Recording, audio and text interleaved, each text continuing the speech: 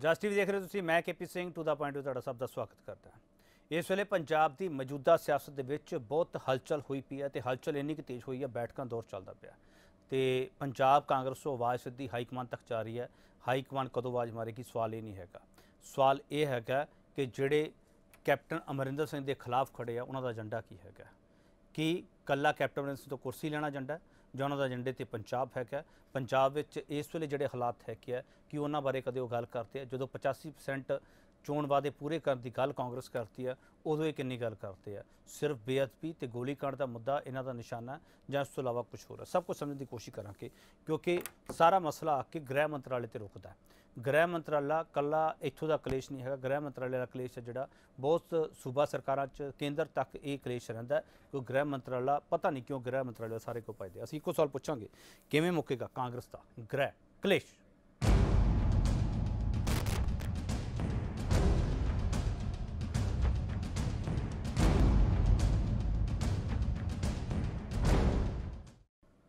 ਅਸੀਂ ਇੱਕ ਸਵਾਲ ਪੁੱਛਾਂਗੇ, ਇਸ ਡਿਬੇਟ ਦੇ ਵਿੱਚ ਵੱਡਾ ਸਵਾਲ ਇਹ ਪੁੱਛਾਂਗੇ, ਅਸੀਂ ਕਾਂਗਰਸ ਦੇ ਅੰਦਰੂਨੀ ਕਲੇਸ਼ ਨਾਲ ਪੰਜਾਬ ਨੂੰ ਕੀ ਹਾਸਲ ਹੋਵੇਗਾ? ਸਾਡਾ ਸਵਾਲ ਪੰਜਾਬ ਦਾ ਹੈ। ਤੇ ਤਿੰਨ ਖਾਸ ਮਹਿਮਾਨ ਸਾਡੇ ਨਾਲ ਮੌਜੂਦ ਹੈ ਕੀ ਹੈ ਉਹਨਾਂ ਤੁਹਾਡਾ ਤਾਰਫ ਕਰਾ ਰਿਹਾ। ਤੇ ਤਿੰਨੇ ਹੀ ਪੜ੍ਹੇ ਲਿਖੀ ਲਾਈਨ ਹੈ ਜਿਹੜੀ ਉਹਦੇ ਨਾਲ ਸੰਬੰਧ ਰੱਖਦੇ ਆ। ਤੇ ਕੋਈ ਜ਼ਿਆਦਾ ਕੁਝ ਇਹਨਾਂ ਬਾਰੇ ਦੱਸਣ ਦੀ ਜ਼ਰੂਰਤ ਨਹੀਂ ਹੈਗੀ, ਤੁਸੀਂ ਅਕਸਰ ਇਹਨਾਂ ਨੂੰ ਟੀਵੀ ਤੇ ਦੇਖਦੇ ਹੋ। Professor P S Bhogal political analyst ਨੇ ਤੇ ਪੋਲੀਟੀਕਲ ਸਾਇੰਸ ਦੇ ਵਿਦਿਆਰਥੀਆਂ ਨੂੰ ਇਹ ਪੜ੍ਹਾਉਂਦੇ ਆ।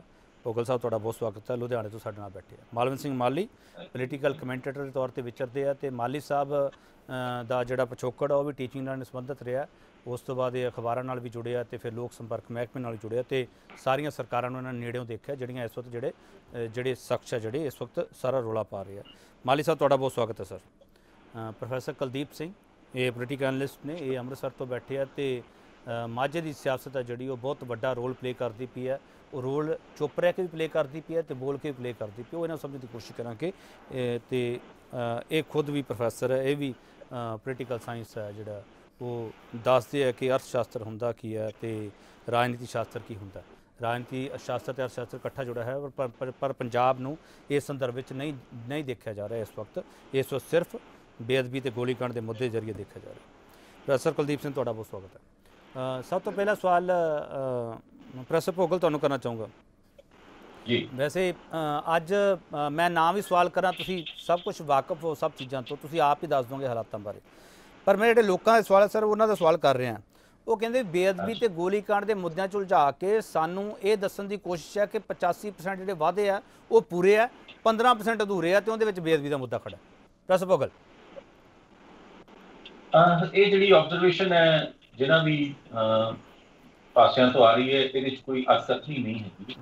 ਸਾਡੀ ਜਿਹੜੀ ਰਾਜਨੀਤੀ ਹੈ ਉਹ ਸੱਚਾਈ ਤੋਂ ਭੱਜਦੀ ਹੈ ਔਰ ਜਿਹੜੇ ਇਮੋਸ਼ਨਲ ਇਸ਼ੂਜ਼ ਹੈ ਜਿਨ੍ਹਾਂ ਦੀ ਜਿਹੜੀ ਹੈਗੀ ਇੱਕ ਹਿਸਟਰੀਕਲ ਅਪਰੋਚ ਹੋ ਸਕਦੀ ਹੈ ਜਾਂ ਇਮੋਸ਼ਨਲ ਅਪਰੋਚ ਹੋ ਸਕਦੀ ਹੈ ਉਹਨਾਂ ਨੂੰ ਕੈਸ਼ ਕਰਨ ਦੀ ਚੱਕਰ ਦੇ ਵਿੱਚ ਰਹਿੰਦੇ ਹਾਂ ਅਸੀਂ ਸਾਡੇ ਜਿਹੜੇ ਰਾਜਨੀਤਿਕ ਲੋਕ ਨੇ।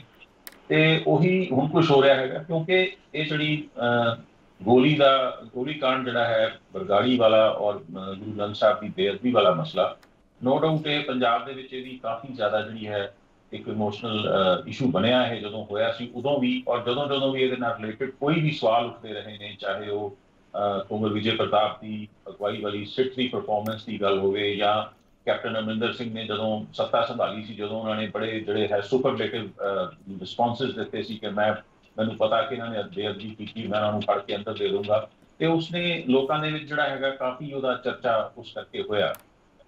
ਇਸ ਕਰਕੇ ਹੁਣ ਵੀ ਕਿਉਂਕਿ ਹਾਈ ਕੋਰਟ ਦੀ ਜਿਹੜੀ ਜਜਮੈਂਟ ਆਈ ਉਸ ਤੋਂ ਬਾਅਦ ਜੋ ਸਿਨੈਰੀਓ ਡਿਵੈਲਪ ਹੋਇਆ ਅਸੀਂ ਦੇਖਦੇ ਹਾਂ ਕਿ ਉਹਨੇ ਪੰਜਾਬ ਦੀ ਰਾਜਨੀਤੀ ਦੇ ਉੱਤੇ ਕਾਫੀ ਜਿਹੜਾ ਹੈਗਾ ਇਫੈਕਟ ਛੱਡਣਾ ਸ਼ੁਰੂ ਕੀਤਾ ਹੋਇਆ। ਜਦੋਂ ਦੀ ਉਹ ਜਜਮੈਂਟ ਆਈ ਹੈ ਕਾਂਗਰਸ ਪਾਰਟੀ ਦੇ ਵਿੱਚ ਵੀ ਜਿਹੜੀ ਹੈ ਇੱਕ ਜਿਹੜੀ ਇੱਕ ਸਲੰਬਰ ਸੀਗਾ ਜਿਹੜਾ ਇੱਕ ਇਨਰਸ਼ੀਆ ਸੀ ਜਿਹੜੀ ਇੱਕ ਖੜਾ ਖੜੋਤ ਆਈ ਹੋਈ ਸੀ ਉਹ ਹਿੱਲੀ ਔਰ ਕਾਂਗਰਸ ਪਾਰਟੀ ਦੇ ਵਿੱਚ ਵੀ ਆਵਾਜ਼ਾਂ ਉੱਠਣੀਆਂ ਸ਼ੁਰੂ ਹੋਈਆਂ ਔਰ ਮੇਰਾ ਖਿਆਲ ਪਹਿਲੀ ਵਾਰੀ ਹੈ ਪਿਛਲੇ ਤਕਰੀਬਨ 4.5 ਦੇ ਅਰਸੇ ਤੋਂ ਬਾਅਦ ਕਿ ਕੈਪਟਨ ਅਮਰਿੰਦਰ ਸਿੰਘ ਨੂੰ ਆਪਣੀ ਪਾਰਟੀ ਦੇ ਵਿੱਚ ਇੱਕ ਮਹਿਸੂਸ ਹੋ ਰਿਹਾ ਕਿ ਉਹਨਾਂ ਦਾ ਵੀ ਵਿਰੋਧ ਕਰਨ ਵਾਲੇ ਕੁਝ ਲੋਕ ਜਿਹੜੇ ਹੈ ਉਹ ਇਕੱਠੇ ਹੋ ਰਹੇ ਨੇ। ਪਹਿਲਾਂ ਗਾਇਕ ਗਾਇਕ ਨਵਜੋਤ ਸਿੱਧੂ ਬੋਲਦੇ ਸੀਗੇ। ਤੇ ਹੁਣ ਲੇਕਿਨ ਆਪਾਂ ਦੇਖਦੇ ਹਾਂ ਕਿ ਪਿਛਲੇ ਕਾਫੀ ਦਿਨਾਂ ਤੋਂ there are number of meetings going on ਔਰ ਉਹਨਾਂ ਦਾ ਜਿਹੜਾ ਹੈਗਾ ਕੈਪਟਨ ਅਮਰਿੰਦਰ ਸਿੰਘ ਵੀ ਥੋੜੇ ਅਹ, ਉਸ ਨੂੰ ਵਾਚ ਕਰ ਰਹੇ ਹੈ।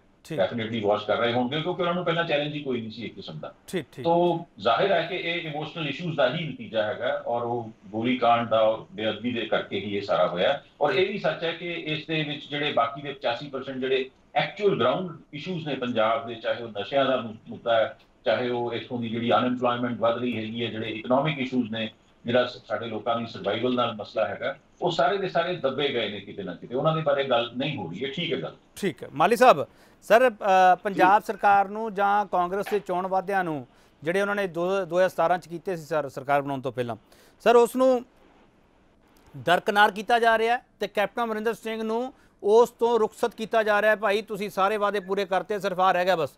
ਮਾਲੀ ਸਾਹਿਬ ਸੰਦੇਸ਼ ਇਹ ਜਾ ਰਿਹਾ ਪੰਜਾਬ 'ਚ। ਨਹੀਂ ਅਸਲ ਦੇ ਵਿੱਚ ਇਹ ਆ ਵੀ ਪਿਛਲੇ ਸਮੇਂ ਦੇ ਵਿੱਚ ਜਦੋਂ ਪਹਿਲਾਂ ਕੈਪਟਨ ਅਮਰਿੰਦਰ ਸਿੰਘ ਆ ਜੀ, ਜਦੋਂ ਉਹਨੇ ਸੁਪਰਮੇਸੀ ਹਾਸਲ ਕੀਤੀ ਆ, ਉਹਨੇ ਕਾਂਗਰਸ ਨੂੰ ਖੇਤਰੀਵਾਦ ਨਾਲ ਜੋੜਿਆ, ਪੰਜਾਬ ਨਾਲ ਜੋੜਿਆ, ਪੰਜਾਬ ਦੀ ਇੱਕ ਧਿਰ ਬਣ ਕੇ ਉਹਨੇ ਦਬਾਅ ਪਾਇਆ ਤੇ ਉਹਨੇ ਸਫਲਤਾ ਹਾਸਲ ਕੀਤੀ ਆ ਬਾਜਪੇ ਨੂੰ ਪਰਾਂ ਕੀਤਾ ਤੇ ਆਪ ਸਾਹਮਣੇ ਆਇਆ। ਹੁਣ ਜਿਹੜਾ ਨਵਜੋਤ ਸਿੰਘ ਸਿੱਧੂ ਆ, ਉਹ ਕਾਂਗਰਸ ਨੂੰ ਮੁੱਦਿਆਂ ਨਾਲ ਜੋੜ ਰਿਹਾ, ਮਸਲਿਆਂ ਨਾਲ ਜੋੜ ਰਿਹਾ। ਕਾਂਗਰਸ ਨੂੰ ਸੁਧਾਰਾਂ ਨਾਲ ਜੋੜ ਰਿਹਾ ਨੀਤੀ ਪਾਲਿਸੀ ਨਾਲ ਜੋੜ ਰਿਹਾ। ਚਾਹੇ ਉਹ ਕਰਤਾਰਪੁਰ ਸਾਹਿਬ ਦੇ ਲਾਂਘੇ ਦੀ ਗੱਲ ਹੋਵੇ। ਸਰ ਕੱਲੇ ਨਵਜੋਤ ਸਿੰਘ ਸਿੱਧੂ ਹੀ ਜੋੜ ਰਹੇ ਆ। ਕੱਲੇ ਨਵਜੋਤ ਸਿੰਘ ਸਿੱਧੂ ਜੋੜ ਰਹੇ ਆ ਸਰ। ਪ੍ਰਤਾਪ ਸਿੰਘ ਬਾਜਵਾ ਰਵਨੀਤ ਬਿੱਟੂ ਸੁਖਜਿੰਦਰ ਰੰਧਾਵਾ ਚੰਦ ਚੰਨੀ ਸਰ ਇਹਨਾਂ ਦਾ ਕੋਈ ਰੋਲ ਨਹੀਂ ਹੈਗਾ। ਇਹ ਸਿਰਫ ਵੈਸੇ ਹੀ ਸਿੱਧੂ ਸਾਹਿਬ ਦੇ ਮਗਰ ਲੱਗ। ਗਏ ਨਹੀਂ ਨਹੀਂ ਇਹ ਸਿੱਧੂ ਸਾਹਿਬ ਦੇ ਮਗਰ ਨਹੀਂ ਲੱਗੇ। ਸਮਝਣ ਵਾਲੀ ਤਾਂ ਇਹੀ ਗੱਲ ਆ। ਹਾਂ। ਸਿੱਧੂ ਸਾਹਿਬ ਜਿਹੜੇ ਮੰਗਾ ਮਸਲੇ ਉਭਾਰ ਰਿਹਾ ਚਾਹੇ ਕਰਤਾਰਪੁਰ ਲਾਂਘੇ ਦੀ ਗੱਲ ਆ ਪਾਕਿਸਤਾਨ ਨਾਲ ਅਮਨ ਸ਼ਾਂਤੀ ਦੀ ਗੱਲ ਆ, ਬਾਰਡਰ ਖੋਲਣ ਦੀ ਗੱਲ ਆ। ਦੂਜਾ, ਜੋ ਲੈਂਡ ਮਾਫੀਆ, ਸੈਂਡ ਮਾਫੀ ਦੀ ਗੱਲ ਕਰਦੇ ਆ, ਉਹਦੇ ਬਾਰੇ ਉਹਨੇ ਬਦਲਵੀਂ ਨੀਤੀ ਪੇਸ਼ ਕੀਤੀ ਆ, ਕੈਂਪ ਦੇ ਵਿੱਚ ਪੇਸ਼ ਕੀਤੀ ਆ ਵੀ ਸ਼ਰਾਬ ਮਾਫੀਆ ਕਿਵੇਂ ਖਤਮ ਹੋਊ, ਸੈਂਡ ਮਾਫੀਆ ਕਿਵੇਂ ਖਤਮ ਹੋਊ, ਲੈਂਡ ਮਾਫੀਆ ਕਿਵੇਂ ਖਤਮ ਹੋਊ, ਟੈਕਸ ਚੋਰੀ ਕਿਵੇਂ ਰੋਕੀ ਜਾਊ। ਉਹ ਇਹ ਮੁੱਦੇ ਉਭਾਰ ਰਿਹਾ ਤੇ ਇਹ ਨੇ ਜਿਹੜੇ ਜਿਹੜੇ ਹੁਣ ਨਵਾਂ ਰੌਲਾ ਪਾ ਰਹੇ ਨੇ, ਇਹ ਸਾਰੇ ਉਹ ਮੁੱਦਿਆਂ ਨੂੰ ਸਾਈਡ ਟਰੈਕ ਕਰਕੇ ਸਿਰਫ ਇੱਕ ਮਸਲਾ ਜਿਹੜਾ ਬੇਅਦਬੀ ਕਾਂਡ ਦਾ ਉਭਾਰ ਰਿਹਾ। ਬੇਅਦਬੀ ਕਾਂਡ ਦੇ ਵਿੱਚ ਵੀ ਇਹ ਜਿਹੜਾ ਫੈਸਲਾ ਆਇਆ ਸਿਰਫ ਕੋਟ ਪੂਰਾ ਗੋਲੀ ਕਾਂਡ ਲਈ ਆਇਆ। ਇਹ ਗੁਰੂ ਗ੍ਰੰਥ ਸਾਹਿਬ ਦੀ ਬੇਅਦਬੀ ਬਾਰੇ ਨਹੀਂ ਆਇਆ। ਇਹ ਬਾਈਬਲ ਕਲਾ ਕਾਂਡ ਬਾਰੇ ਨਹੀਂ ਆਇਆ। ਤੇ ਇਹ ਜਿਹੜੇ ਨਵੇਂ ਰੌਲਾ ਪਾ ਰਹੇ ਨੇ ਕਾਂਗਰਸ ਦੇ ਵਿੱਚ ਇਹ ਨਵਜੋਤ ਸਿੰਘ ਸਿੱਧੂ ਦੇ ਜਿਹੜੇ ਨੀਤੀਆਂ ਪਾਲਿਸੀਆਂ ਦਾ ਮਸਲਾ ਉਹ ਤੋਂ ਧਿਆਨ ਪਾਸੇ ਹਟਾ ਕੇ ਜਿਹੜੀ ਗੁੱਟਬਾਜ਼ੀ ਹੁੰਦੀ ਆ ਵੀ ਇਸ ਮਾਮਲੇ ਦਾ ਜਿਹੜਾ ਕਾਂਗਰਸ ਨੇ ਲਾਹਾ ਲੈਣਾ ਸੀ ਜੋ ਵਾਅਦੇ ਕੀਤੇ ਸੀ ਮੁੱਖ ਮੰਤਰੀ ਨੇ ਬੇਅਦਬੀ ਕਾਂਡ ਬਾਰੇ ਜਿਹਦੇ ਬਾਰੇ ਨਵਜੋਤ ਸਿੰਘ ਸਿੱਧੂ ਨੇ ਕਿਹਾ ਸੀ ਜਿਨ੍ਹਾਂ ਨੂੰ ਸੜਕ ਤੇ ਲਾਤਾ ਜੇ ਇਨਸਾਫ ਨਾ ਦਿੱਤਾ ਸਾਡਾ ਹਾਲ ਵੀ ਉਹੀ ਹੋਣਾ। ਇਸ ਇਕੱਲੇ ਮੁੱਦੇ ਤੇ ਲਾਹਾ ਲੈ ਕੇ ਇਹ ਮੁੱਦਿਆਂ ਤੇ ਮਸਲਿਆਂ ਤੋਂ ਭਟਕਾ ਰਹੇ ਨੇ। ਠੀਕ ਠੀਕ ਵੈਸੇ ਕੁਲਦੀਪ ਸਿੰਘ ਸਰ ਪੰਜਾਬ ਨੂੰ ਤਿੰਨ ਹਿੱਸਿਆਂ 'ਚ ਦੇਖਿਆ ਜਾਂਦਾ ਹੈ ਮਾਝਾ ਮਾਲਵਾ ਦੁਆਬਾ। ਹਾਲਾਂਕਿ ਪੁਆਧ ਵਿੱਚ ਵੀ ਦੇਖਿਆ ਜਾਣਾ ਚਾਹੀਦਾ ਪਰ ਉਹ- ਉਦੋਂ ਘੱਟ ਦੇਖਿਆ ਜਾਂਦਾ। ਜਦੋਂ ਅਸੀਂ ਸਿਆਸੀ ਵਿਸ਼ਲੇਸ਼ਣ ਕਰਦੇ ਹਾਂ ਉਦੋਂ ਇਹਨਾਂ ਤਿੰਨਾਂ ਇਲਾਕਿਆਂ ਦੀ ਗੱਲ ਕਰਦੇ ਹਾਂ। ਸਰ ਇਹ ਆਵਾਜ਼ ਅਸੀਂ ਇਹ ਮੰਨ ਕੇ ਚੱਲੀਏ ਮਾਝੇ ਉੱਠੀ ਹੈ। ਦੇਖੋ ਜਿੱਥੋਂ ਤੱਕ ਗੁਰੂ ਮਹਾਰਾਜ ਸਾਹਿਬ ਦੀ ਬੇਅਦਬੀ ਦਾ ਮਸਲਾ ਹੈ ਜਾਂ ਗੋਲੀ ਕਾਂਡ ਦਾ ਮਸਲਾ ਇਹ ਕਿਉਂਕਿ ਇਹ ਸਾਰੀ ਗੱਲ ਜੁੜ ਕੇ ਅਲਟੀਮੇਟਲੀ ਤੁਹਾਡੇ ਧਰਮ ਨਾਲ ਜੁੜਦੀ ਹੈ ਇਹ ਤਾਂ ਸਾਰੇ ਸੂਬੇ ਦਾ ਮਸਲਾ ਹੈ। ਇਹਨੂੰ ਖੇਤਿਆਂ ਵਿੱਚ ਵੰਡਣ ਵਾਲੀ ਗੱਲ ਕੋਈ ਬਹੁਤੀ ਠੀਕ ਨਹੀਂ ਹੈਗੀ। ਨਹੀਂ ਸਰ ਮੈਂ ਸਿਆਸਤ ਸਿਆਸਤ ਦੀ ਗੱਲ ਕਰ ਰਿਹਾ ਸਰ। ਇਹ ਕਹਿੰਦੇ ਮਾਝੇ ਵਾਲੇ ਜ਼ਿਆਦਾ ਸਿਆਸਤ ਔਖੇ ਮਾਝੇ। ਵਾਲੇ ਜ਼ਿਆਦਾ ਔਖੇ ਆ। ਇਹ ਕਿਹਾ ਜਾ ਰਿਹਾ। ਸਿਆਸ ਸਿਆਸਤ ਇਸ ਗੱਲ ਨਾਲੇ ਜੁੜਦੀ ਹੈ ਕਿ ਕੋਈ ਇੱਕ ਮੁੱਦਾ ਸੂਬੇ ਦੇ ਅੰਦਰ ਕਿਸ ਪੱਧਰ ਤੱਕ ਅਪੀਲ ਕਰ ਸਕਦਾ ਹੈ। ਬਰਗਾੜੀ ਕਾਂਡ ਗੁਰੂ ਮਹਾਰਾਜ ਦੀ ਬੇਅਦਬੀ ਵਾਲਾ ਮੁੱਦਾ ਉਹ ਮੁੱਦਾ ਹੈ ਜਿਹੜਾ ਪੰਜਾਬ ਦੇ ਅੰਦਰ ਹਰ ਵਰਗ ਨੂੰ ਹਰ ਵਰਗ ਨੂੰ ਇਸ ਕਰਕੇ ਪਿਆਰਾ ਹੈ ਕਿ ਪੰਜਾਬ ਦੀ ਧਰਤੀ ਤੇ ਗੁਰਬਾਣੀ ਨੂੰ ਮੰਨਣ ਵਾਲੇ ਦੀ ਬਹੁਤ ਵੱਡੀ ਗਿਣਤੀ ਹੈ। ਰਾਦਰ ਜਦੋਂ ਜਦੋਂ ਬੁਰਜ ਜਵਾਹਰ ਸਿੰਘ ਵਾਲੇ ਚੋਂ ਮਹਾਰਾਜ ਸਾਹਿਬ ਦੀ ਬੀੜ ਚੁਰਾ ਕੇ ਬਰਗਾੜੀ ਦੇ ਗਿਰਦ ਬੇਅਦਬੀ ਕੀਤੀ ਗਈ। ਅਸੀਂ ਡਿਪਾਰਟਮੈਂਟ ਆਫ ਪੋਲੀਟੀਕਲ ਸਾਇੰਸ ਵਿੱਚ ਘੰਟਿਆਂ ਬੱਧੀ ਬਹਿਸ ਕੀਤੀ। ਇਹ ਜਾਣਨ ਲਈ ਕਿ ਕੌਣ ਕਰਵਾ ਸਕਦਾ ਹੈ। ਕਿਉਂਕਿ ਕਿਉਂਕਿ ਲੋਕਾਂ ਦੇ ਲੈਵਲ ਤੇ ਕਮਿਊਨਿਟੀ ਦੇ ਲੈਵਲ ਤੇ ਇਹ ਇਹ ਗੱਲ ਦਿਮਾਗ ਚ ਆਉਣੀ ਕਿ ਕੋਈ ਹਿੰਦੂ ਕਰਵਾ ਸਕਦਾ ਹੈ ਕੋਈ ਦੂਜਾ ਕਰਵਾ ਸਕਦਾ ਇਹ ਬੜੀ ਔਖੀ ਹੈ। ਇਸ ਕਰਕੇ ਇਹ ਮੁੱਢ ਫਰਮ ਦਾ ਡੇ 1 ਇਹ ਰਾਜਨੀਤਿਕ ਮੁੱਦਾ ਹੀ ਰਿਹਾ। ਦੂਜੀ ਚੀਜ਼ ਦੂਜੀ ਚੀਜ਼ ਜਿਹੜੀ ਲਾਸਟ ਇਲੈਕਸ਼ਨ ਸੀਗੀ ਜਿਹਦੇ 'ਚ ਅਕਾਲੀ ਦਲ ਦੀਆਂ ਸੀਟਾਂ ਰਹਿ ਗਈਆਂ 15 ਵੋਟ ਪਰਸੈਂਟੇਜ ਆ ਗਿਆ ਲਗਭਗ ਆਮ ਆਦਮੀ ਪਾਰਟੀ ਦੇ ਬਰ- ਬਰਾਬਰ। ਤੁਸੀਂ ਅਕਾਲੀ ਦਲ ਦੀ ਹਿਸਟਰੀ ਦੇ ਲਓ ਜਦੋਂ ਅਕਾਲੀ ਦਲ ਹਰਿਆ ਵੀ ਹੈ ਇਹਨਾਂ ਦੀਆਂ ਵੋਟਾਂ 33 34% ਦੇ ਇਰਦ ਗਿਰਦ ਰਹੀਆਂ ਨੇ। ਪਹਿਲੀ ਵਾਰ ਹੋਇਆ ਕਿ ਜਦੋਂ ਬੇਅਦਬੀ ਦਾ ਮੁੱਦਾ ਇਸ ਲੈਵਲ ਤੱਕ ਉਛਾਲਿਆ ਗਿਆ ਅਕਾਲੀ ਦਲ ਦਾ ਵੋਟ ਪਰਸੈਂਟੇਜ ਆਪ ਦੇ ਬਰਾਬਰ ਆ ਗਿਆ ਸੀਟਾਂ 15 ਰਹਿ ਗਈਆਂ। ਸੋ ਸੋ ਲਾਸਟ ਇਲੈਕਸ਼ਨ ਵਿੱਚ ਅਕਾਲੀ ਦੋ ਗੱਲਾਂ ਇਕੱਠੀਆਂ ਨੇ। ਅਕਾਲੀ ਦਲ ਦੇ ਹਾਰ ਦਾ ਕਾਰਨ ਤੇ ਕਾਂਗਰਸ ਦੇ ਪਾਵਰ ਚ ਆਉਣ ਦਾ ਕਾਰਨ ਕਿਤੇ ਮਿਲਦੇ ਨੇ।